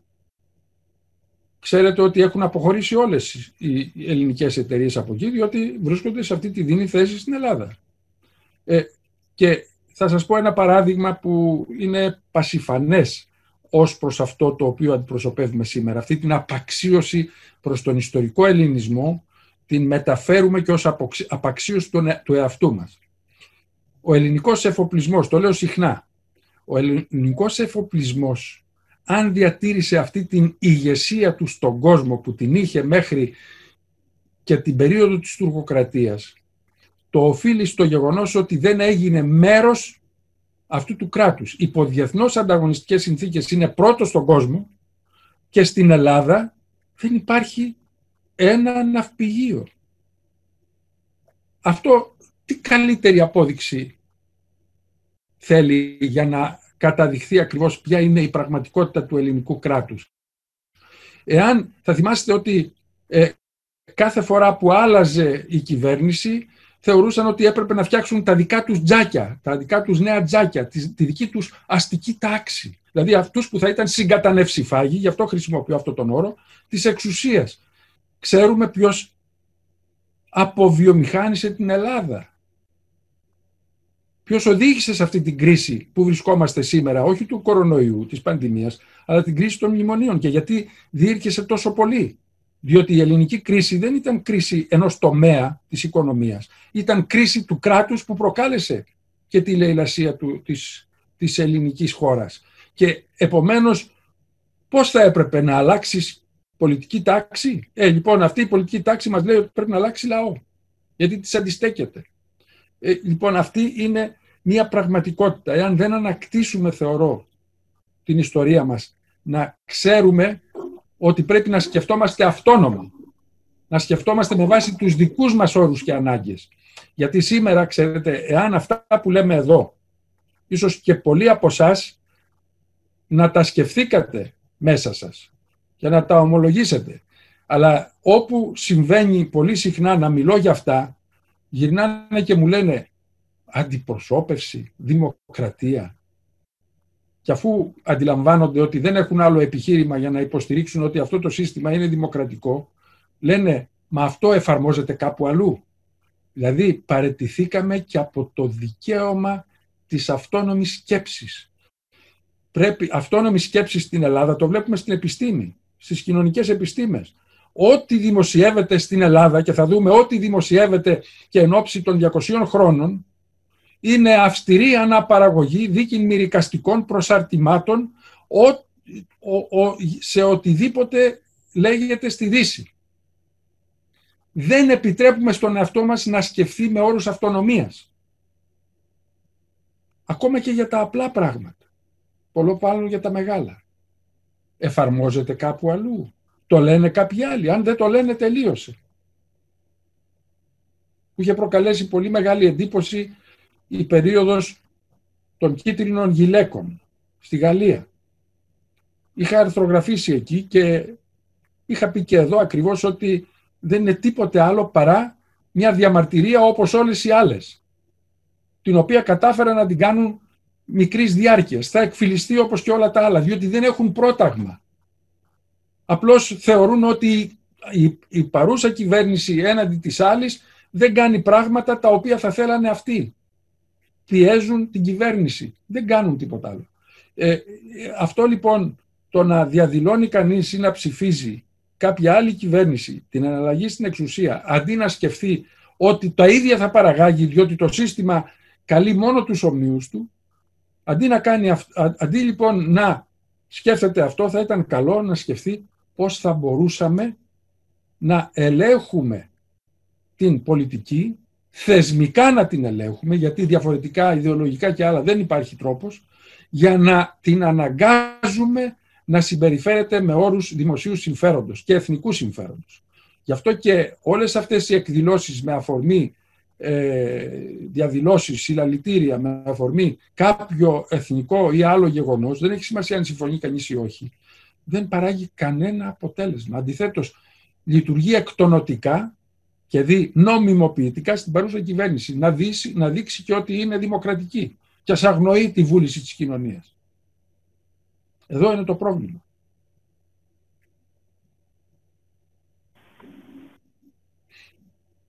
Ο κύριος Κρανιδιώτης έχει δύο ερωτήσεις και άλλες δύο ερωτήσεις να επιτρέψουμε γιατί και η ώρα έχει περάσει. Λοιπόν, παρακαλώ τον κύριο Κρανιδιώτη. Ευχαριστούμε κύριε καθηγητά για, το, για την εξαιρετική ομιλία ε, και για όλα όσα ακούσαμε σήμερα. Δύο ερωτήσεις ε, οι οποίες είναι σχετικές με αυτά τα οποία αναλύεται ε, τώρα. Η πρώτη είναι ποιο πιστεύετε, με δεδομένο ότι από το 1996 και καθ' όλη τη διάρκεια της μεταπολίτευσης, αλλά πιο έντονα από το 1996 και μέχρι σήμερα, η χώρα έχει μπει σε μια πορεία προς μια καθολική ευρωπαϊκή ενοποίηση. Ποιο είναι το μέλλον του ελληνισμού όταν αυτό θα συμβεί ε, ποιο είναι το βασικό στοιχείο διαφοροποίησης μας σε αυτήν την περίπτωση. Και η δεύτερη ερώτηση έχει να κάνει σχετικά με το αυτοκέφαλο. Θα ήθελα ένα σχόλιο σχετικά ε, με την ε, ελληνική αυτοκεφαλία και σε συνέχεια στις πρώτες ερώτησης τι μέλλον θα είχε αυτή στην περίπτωση της Ευρωπαϊκής Ενοποίησης. Ευχαριστώ. Ε, το μέλλον της ε, Ελλάδας στην Ευρώπη εξαρτάται από την ίδια την Ελλάδα. Ε, εάν η Ελλάδα είχε μνημόνια στο πλαίσιο της Ευρωπαϊκής Ένωσης, δεν οφείλεται στους κακούς Ευρωπαίους, ούτε στους κακούς Αμερικανούς, ούτε στις κακές αγορές. Οφείλεται στη λαιλασία της χώρας. Στο γεγονός ότι, και το λέω με τα λόγου γνώσεως διότι ε, ε, έχει γίνει σχετική αποτίμηση, ε, ο συνολικός πλούτος που παρήχθη στη χώρα, που εισήχθη από την διασπορά ή από το ελληνικό επιχειρήν στο εξωτερικό ή από την Ευρωπαϊκή Ένωση και από άλλες πηγές, ε, εάν είχε επενδυθεί παραγωγικά στην ελληνική χώρα, το επίπεδό της βιομηχανικό και κατακεφαλήν θα ήταν από τα πρώτα στην Ευρώπη. Έχουν πει ανώτερο της, του Λουξεμβούργου και της Σουηδίας. Τι έγινε αυτός ο πλούτος; Τι έγινε η σχετική εκβιομηχάνηση που έγινε επειδή έπρεπε να ε, οδηγηθεί μετά τον εμφύλιο σε μια νομιμοποίηση ε, η, η κατάσταση, η πραγματικότητα που κυριάρχησε ε, του εμφυλίου. Τι έγινε αυτή η εκβιομηχάνηση; Πού βρίσκεται; Ε, είναι τυχαίο ότι ακόμα και σήμερα ε, ενοχοποιείται στην Ελλάδα αυτό το οποίο αποτέλεσε την πρώτη ανακάλυψη και το ιδίωμα του ελληνικού κόσμου μέχρι και την τουρκοκρατία, δηλαδή το επιχειρήν. Το επιχειρήν, την νομισματική οικονομία δηλαδή, την εισήγαγαν στην ιστορία οι Έλληνες και τη διακίνησαν με όλες τις μορφές μέχρι και το 19ο αιώνα και μάλιστα με όρους ηγεσίας.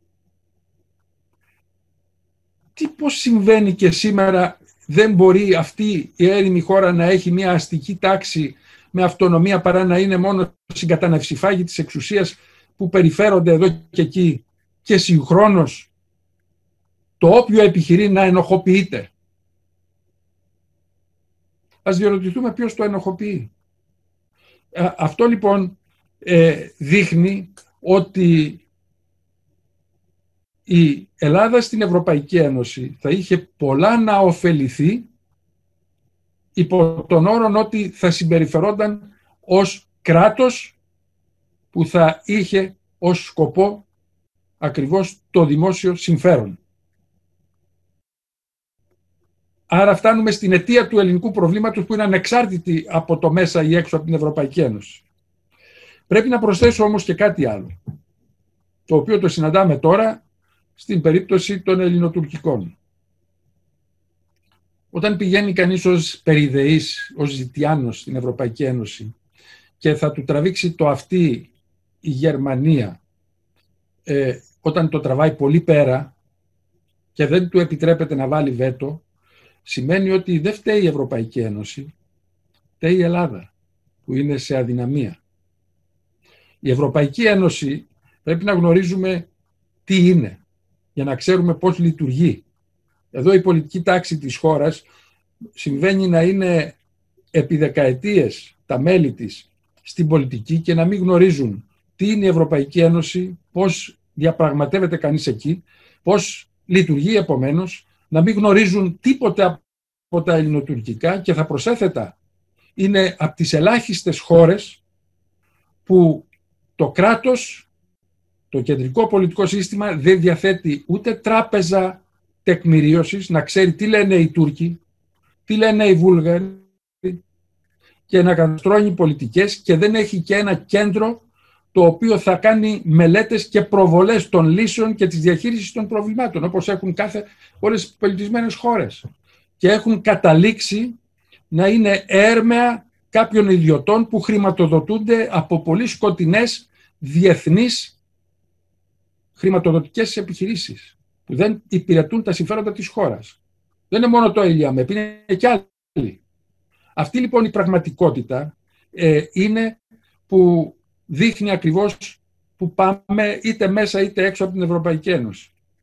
η Ευρωπαϊκή Ένωση θα μπορούσε να είναι υπό άλλες συνθήκες ένα ισχυρό ανάχωμα και απέναντι στον τουρκικό επεκτατισμό, διότι θα μπορούσε να αντισταθμίσει μια ισχυρή Ελλάδα διαπραγματευτικά πάρα πολλά άλλα ζητήματα. Αλλά προσέξτε, η Ευρωπαϊκή Ένωση είναι μια ένωση κρατών, δηλαδή ένα πολιτικό σύστημα χωρίς κράτος. Δεν έχει κρατικές πολιτικές με την έννοια της εξωτερικής πολιτικής, της αναδιανομής του οικονομικού πλεονάσματος στις χώρες, με την έννοια της άμυνας κλπ. Άρα, στο εσωτερικό του Πολιτικοπαϊκής Ένωσης ισχύουν οι όροι δύναμης, όπως είναι στις διακρατικές σχέσεις. Ποιος έχει τη δύναμη να προβάλλει το σύνολο ή ένα μέρος των εθνικών του προτεραιοτήτων και να γίνει πολιτική της Ευρωπαϊκής Ένωσης. Οι ισχυρές δυνάμεις, ναι, περισσότερο. Αλλά βλέπουμε ότι και οι μικρές χώρες έχουν, που έχουν όμως ισχυρή οικονομία, έχουν αυτή τη δυνατότητα να προβάλλουν το εθνικό συμφέρον όπως κάνουν όλες σε επίπεδο διαχείρισης ε, στην, ε, στους ευρωπαϊκούς θεσμούς και να αποτελέσει μέρος τους. Να γίνει συμβατό δηλαδή με αυτό που θε, θεωρείται ευρωπαϊκός δημόσιος χώρος και να ενταχθεί μέσα σε αυτόν. Ε, αυτό λοιπόν δεν έχει γίνει κατορθωτό γιατί δεν υπάρχουν πολιτικές προς αυτή την κατεύθυνση. Έχω συμμετάσχει σε πάρα πολλούς ευρωπαϊκούς θεσμούς όπου εγώ ως εθνικός εκπρόσωπος ε, ή ως μέρος αυτών των θεσμών έπρεπε να συνευρεθώ εκεί με άλλους εκπροσώπους, διπλωμάτες ή πολιτικούς της, του, ε, του ελληνικού κράτους. Σας διαβεβαιώ ότι ήμουν ο, μόνος που βρισκό, βρισκόμουν στις συνεδριάσεις. Οι άλλοι έβρισκαν την ευκαιρία να πάνε στη Φλωρεντία, να πάνε στην, ε, στις Βρυξέλλες, στο Λουξεμβούργο, οπουδήποτε αλλού, για να κάνουν τα ψώνια τους και τις βόλτες, τις βόλτες τους με τις φιλενάδες ή τις γυναίκες τους. Αυτό λοιπόν αντιλαμβάνεστε ότι είναι ένα κεντρικό ζήτημα που έχει να κάνει με την αυτονομία αυτού του κόσμου της πολιτικής. Με το γεγονός δηλαδή ότι εάν κάποιος αρθρώσει έναν διαφορετικό πολιτικό λόγο και πει ότι πρέπει κάτι άλλο να κάνουμε σε αυτό το πολιτικό σύστημα, το πολιτικό σύστημα θα τον κρατήσει απ' έξω. Και αν δεν τον πάρουν είδηση και βρεθεί μέσα στο πολιτικό σύστημα θα τον εκφράσει. Έρχονται πολλοί από τους δικούς μου συναδέλφους και λένε μετά τις εκλογές πόσο πολύ ανανεώνεται το ελληνικό κοινοβούλιο. Και αυτό το θεωρούν δείγμα προόδου. Ε, λοιπόν, είναι απόδειξη αυτής, αυτού του εκφυλιστικού ιδιώματος του ελληνικού πολιτικού συστήματος, δηλαδή του κράτους. Γιατί; Διότι επειδή κυριαρχούν κάποιες οικογένειες, μόλις κάποιος αρθρώσει λόγο που δεν τον θέλουν ή τον θεωρούσαν ανταγωνιστικό, αμέσως τον εξαφανίζουν. Επομένως, έτσι διατηρούν την ηγεμονία τους και εναλλάσσονται στο πολιτικό σύστημα. Τι άλλο καλύτερο αποδεικτικό στοιχείο θέλει κανείς από αυτό; Και πόσο πολύ χρειάζεται να επιχειρηματολογήσει κανείς για την ανάγκη να αλλάξει το πολιτικό σύστημα. Αλλιώς δεν υπάρχει ελπίδα. Τώρα για την αυτοκεφαλία, προσέξτε, ε, υπάρχει μια πραγματικότητα όπως αντιλαμβάνεστε στην ε, Ελλάδα που έχει να κάνει με το γεγονός ότι υπάρχουν πολλές εκκλησίες μέσα στη χώρα. Υπάρχει η περιοχή που ανήκει στο Οικουμενικό Πατριαρχείο, υπάρχει αυτή που ανήκει στο, στο ελλαδικό κράτος και υπάρχουν και διάφορες άλλες αυτόνομες περιοχές. Ε, κάποια στιγμή πρέπει να αποφασίσουμε τι θέλουμε. Ε, η ελληνική εκκλησία ε, προσαρμόστηκε σε αυτό που είναι το ελλαδικό κράτος με μόνη τη διαφορά ότι ε, δεν συνέπηξε στην κορυφή μια παπική ιεραρχία αλλά της, διατήρησε τη συνοδικότητα των ιεραρχών χωρίς όμως να διατηρήσει τη βάση, τη δημοκρατική βάση που βέβαια δεν μπορούσε πια να την διατηρήσει διότι εξέλιπε το κοινό πάνω στο οποίο είχε εδραστεί η ελληνική εκκλησία. Ξέρετε, στη διάρκεια της τουρκοκρατίας ο κλήρος εκλεγόταν από το λαό, από τον Δήμο και ανακαλούνταν από το Δήμο. Το λένε τα συντάγματα της τουρκοκρατίας, των πόλεων. Ε, το βλέπουμε ότι ακόμα και σήμερα με μια έτσι περίεργη ε, εκδοχή του πράγματος ε, το βλέπουμε στην Κύπρο. Ε, αυτό τελείωσε και ο κλήρος παρέμεινε κλήρος χωρίς αυτή την αναλογία προς την δημοκρατία του Δήμου, την εκκλησία του Δήμου των Πιστών που έδωσε και το όνομά της και συγχρόνως το βλέπουμε στην πανδημία. Ξέρετε, δεν νοείται εκκλησία, δηλαδή μυστήριο που αναπτύσσεται θεία λειτουργία ή ό,τι χωρίς την παρουσία πιστών. Ε, το γεγονός ότι ε, αυτό έχει τελειώσει και δεν λαμβάνεται υπόψη, όχι λόγω της πανδημίας, αλλά λόγω του ότι εξέλιπε αυτή η σχέση, δείχνει ακριβώς ότι έχει μένει η Εκκλησία διατηρήσει κάποια ιστορικά στοιχεία, που είναι η αυτονομία του κλήρου, το γεγονός που ίσχυε και για τον βασιλέα στο Βυζάντιο, ο Πατριάρχης να μην μπορεί να πάει κάπου αν δεν ζητήσει την άδεια του κοινού, ή σας ξενίζει, αυτό ίσχυε.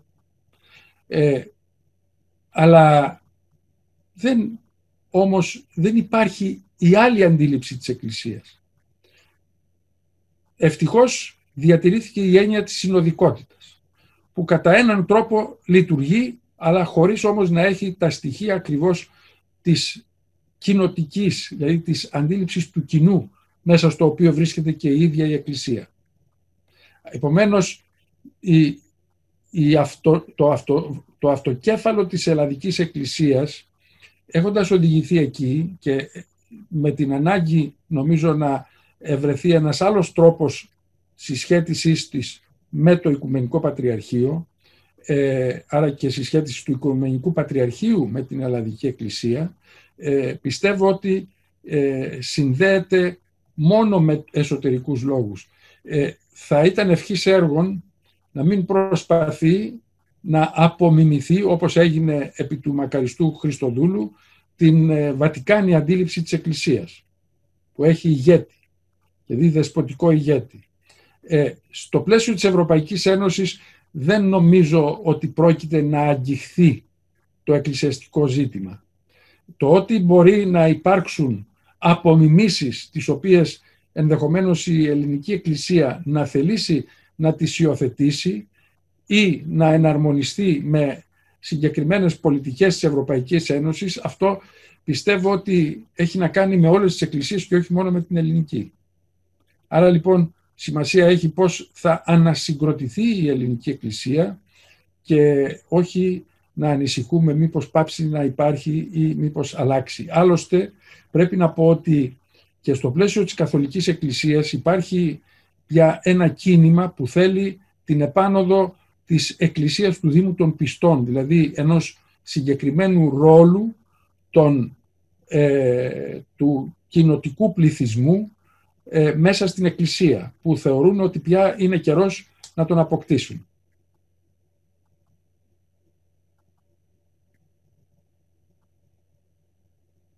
Σας ευχαριστώ. Ε, κύριε καθηγητά, το, το μικρόφωνο. Ναι, ναι, συγγνώμη. Μια τελευταία ερώτηση από την κυρία Αλεξάνδρου Παπακοσταντίνου και είναι η τελευταία και θα ευχαριστήσουμε τον κύριο καθηγητή και θα κλείσουμε. Ναι, Καλησπέρα.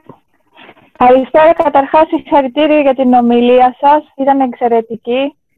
Ε, θα ήθελα να ρωτήσω, ένας πολίτης, όπως λέμε, Βυζαντινής Αυτοκρατορίας, που για παράδειγμα ζούσε στα παράλια, πώς έβλεπε την Κωνσταντινούπολη και πώς λεγόταν, δηλαδή γιατί αναφέρατε για το κοινό της Κωνσταντινούπολης.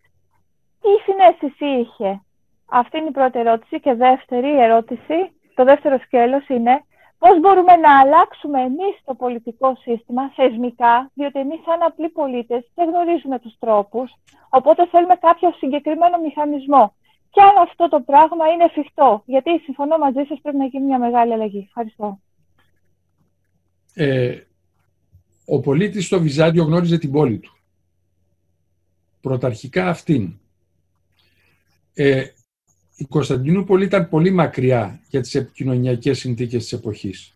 Ωστόσο υπήρχε στο Βυζάντιο ένα πολύ μεγάλο και αραγές δίκτυο επικοινωνίας στο σύνολο της επικράτειας που ήταν, είχε σχέση και με το ταχυδρομείο και με την πληροφορία και με την γνώση του τι συνέβαινε στις ε, εκάστοτε περιοχές. Δεν είναι τυχαίο ότι ήθελε ελάχιστο χρόνο ε, να πληροφορηθεί το, η Κωνσταντινούπολη ε, τι συνέβαινε στις περιοχές της Μέσης Ανατολής. Ελάχιστες μέρες. Δεν χρειαζόταν να μετακινηθούν άνθρωποι γι' αυτό. Ε, υπήρχε λοιπόν αυτή η δυνατότητα. Ε, αλλά αυτό δεν αφορούσε τον, τον κοινό λαό, τον κοινό πολίτη. Ε, πρέπει όμως να πούμε και το εξής. Ότι στην περίοδο, είπατε, μιλήσατε για, Οθωμαν, για Βυζαντινή Αυτοκρατορία. Πιπέρι, στη γλώσσα σας, όπως τα λέγαμε. Δεν υπάρχει Βυζαντινή Συμφωνώ, συμφωνώ μαζί σας, κύριε. Κοσμόπολη. Ε, και στους δύο και στον τρίτο τόμο του κοσμοσυστήματος που κυκλοφόρησαν οι δύο και κυκλοφορεί ελπίζω μέχρι τον Ιανουάριο και ο τρίτος αυτό το αποδεικνύω και εξηγώ γιατί αυτό είναι η μεγάλη καταστροφή και η μετακίνηση, η τοποθέτηση του ελληνικού κόσμου του Βυζαντίου στο Μεσαίωνα. Καμία σχέση. Ε, στη Βυζαντινή λοιπόν κοσμόπολη όπως και στις προηγούμενες κοσμοπόλεις, τους ελληνιστικές κλπ, υπάρχει ο πολίτης που είναι πολίτης της πόλης, της πόλης του. Και ο πολίτης της πόλης, δυνάμει της θέσης της πόλεως μέσα στην κοσμόπολη, είναι και κοσμοπολίτης. Να γιατί δεν πρέπει να μιλάμε για, κοσμο, για αυτοκρατορία. Είναι κοσμοπολίτης, σημαίνει πολίτης της κοσμόπολης. Άρα ε, είναι θεσμική ιδιότητα η ιδιότητα του πολίτη και όχι αυτό που λέγεται σήμερα ε, πολίτης, κοσμοπολίτης, αυτός που δεν έχει θεσμική σχέση με την ιδιότητα του πολίτη. Ε, άρα λοιπόν, εάν όπως ο Βασίλειος ο πρώτος παραδείγματος χάρη, έφυγε από το χωριό του στη Μακεδονία, στη Θράκη, που τότε περιείχε στο θέμα της Μακεδονίας και πήγε στην Κωνσταντινούπολη, έγινε αυτομάτως πολίτης της Κωνσταντινούπολης, του Βυζαντίου και εξ αυτού του λόγου έγινε και βασιλιάς του Βυζαντίου. Ε, επομένως, η, η, η σχέση αυτή είναι μια σχέση η οποία ευνοεί την αυτονομία των πόλεων που απαγορεύει στον βασιλιά να γίνεται αυτοκράτορας, να γίνεται δηλαδή ένας ε, πολιτικός άρχοντας ο οποίος ασκεί πολιτική κυριαρχία όπως ο σημερινός πρωθυπουργός, καμία σχέση. Οι αρμοδιότητες του είναι εξαιρετικά περιορισμένες. Τις ορίζει ο Λέων ο Σοφός και όλοι οι άλλοι ως ένομη επιστασία. Επιβλέπουν δηλαδή της κοσμόπολης και επομένως στο πλαίσιο αυτό ε, αναλαμβάνει τις πρωτοβουλίες εκείνες οι οποίες έχουν να κάνουν με το σύνολο της κοσμόπολης. Να γίνει μια μεγάλη οδική αρτηρία, να οργανωθεί η επικράτεια, να ε, διαξαχθεί ένας πόλεμος στα σύνορα και ούτω καθεξής. Αλλά δεν επεμβαίνεις στο επίπεδο του ατόμου. Εκεί είναι ο πολίτης με το κοινό του. Ε, αυτή λοιπόν η πραγματικότητα αρχίζει σιγά σιγά να αλλάζει και εξηγεί και την κρίση αν θέλετε στο τέλος του Βυζαντίου ε, πρώτον στην δεύτερη περίοδο ε, μετά τους Μακεδόνες που οδηγεί στην παράδοση της πόλης το 1204 είναι η αναβίωση του παλαιού καθεστώτος που έρχεται να ακυρώσει αυτή τη δυναμική προς τη μεγάλη κλίμακα της νεωτερικότητας και στη συνέχεια με τους παλαιολόγους. Οι παλαιολόγοι έπαψαν να ακολουθούν τις πολιτικές των Λασκαρίδων και των Βατάτζιδων στην, ε, στο κράτος, στην κοσμόπολη της Νίκαιας. Με αποτέλεσμα η, η πόλη του Βυζαντίου, δηλαδή η Κωνσταντινούπολη για να συνεννοούμαστε, έγινε μία πόλης κράτος μέσα στην Κοσμόπολη που ουσιαστικά ενέμετο την Κοσμόπολη, την μετέβαλε δηλαδή σε απικία της χωρίς να ασχολείται με αυτήν. Και αυτό ήταν το κρίσιμο ζήτημα που οδήγησε σιγά σιγά ε, στην τελική ε, κρίση. Μια περίοδο που έχουμε μια τρομακτική απογείωση σε όλα τα επίπεδα, από πολιτισμικό, οικονομικό και άλλα, του ελληνισμού, έχουμε την αδυναμία του κράτους να εισπράξει αυτή την τρομακτική δύναμη του ελληνισμού και να αναταχθεί ώστε να δημιουργήσει τους όρους της άμυνάς του απέναντι στους εξωτερικούς εχθρούς. Που ήταν πολύ απλό, δηλαδή οι, οι Οθωμανοί όταν μπαίνανε στα ελληνικά εδάφη κατέλαβαν τη Λιθινία με 2-3 χιλιάδες στρατιώτες και δεν μπορούσε η κεντρική κυβέρνηση να συγκεντρώσει τόσους για να τους προστατεύσει. Ήταν αυτή, αυτό το κεντρικό πρόβλημα που ανέδειξε αυτή την πραγματικότητα της κρίσης. Επομένως, ε, αυτό εξηγεί και την ισχυρή ανάκαμψη του ελληνικού κόσμου όταν εισέρχεται στο Οθωμανικό καθεστώς. Αυτά. Ωραία. Σας ευχαριστούμε πάρα πολύ. Ε, πάντοτε ε, σας είναι πραγματικά εντυπωσιάζει η ανάλυση σας και ελπίζουμε στο μέλλον πάλι να σας έχουμε μαζί.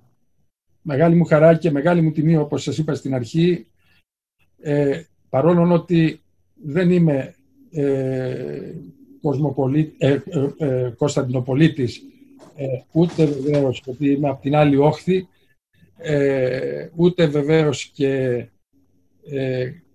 μικρασιάτη στην καταγωγή. Θεωρώ ότι ε, πατρίδα μου είναι περισσότερο αυτή παρά η, τα Ιόνια νησιά στα οποία ε, μεγάλωσα, γεννήθηκα και μεγάλωσα. Σας ευχαριστώ πάρα πολύ.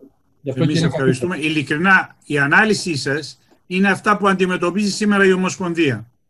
Αυτά αντιμετωπίζει, έχει να αντιμετωπίσει. Μα, με, κύριε, κύριε Ουζούνογλου, αυτό που συμβαίνει στο κεντρικό κράτος αναπαράγεται σε όλους τους θύλακες της, ε, του ελληνικού κράτους και βεβαίως επειδή το ήθος και οι θεσμοί της πολιτείας αναπαράγονται και είναι το ήθος της κοινωνίας, αναπαράγονται και από την κοινωνία. Ευχαριστούμε πολύ. Καλό βράδυ και όλους βέβαια που συμμετείχαν. Ε, θα γίνουν και άλλες συζητήσεις. Σίγουρα όλη η ανάλυση χρειάζεται και να συζητηθεί και τι πρέπει να κάνουμε άμεσα. Αυτό θα το συζητήσουμε και τις άλλες. Αυτό δεν απάντησα διότι θα χρειαζόταν ειδική Έτσι. συνεδρία γιατί αν μιλούσαμε σήμερα θα σας πήγαινα στις 12 η ώρα. Εντάξει, θα μιλήσουμε άλλη φορά, ελπίζω. Σας απείλησα. Ευχαριστούμε πάρα πολύ όλους τους συμμετέχοντες. Και εγώ ευχαριστώ. Ευχαριστούμε πάρα πολύ.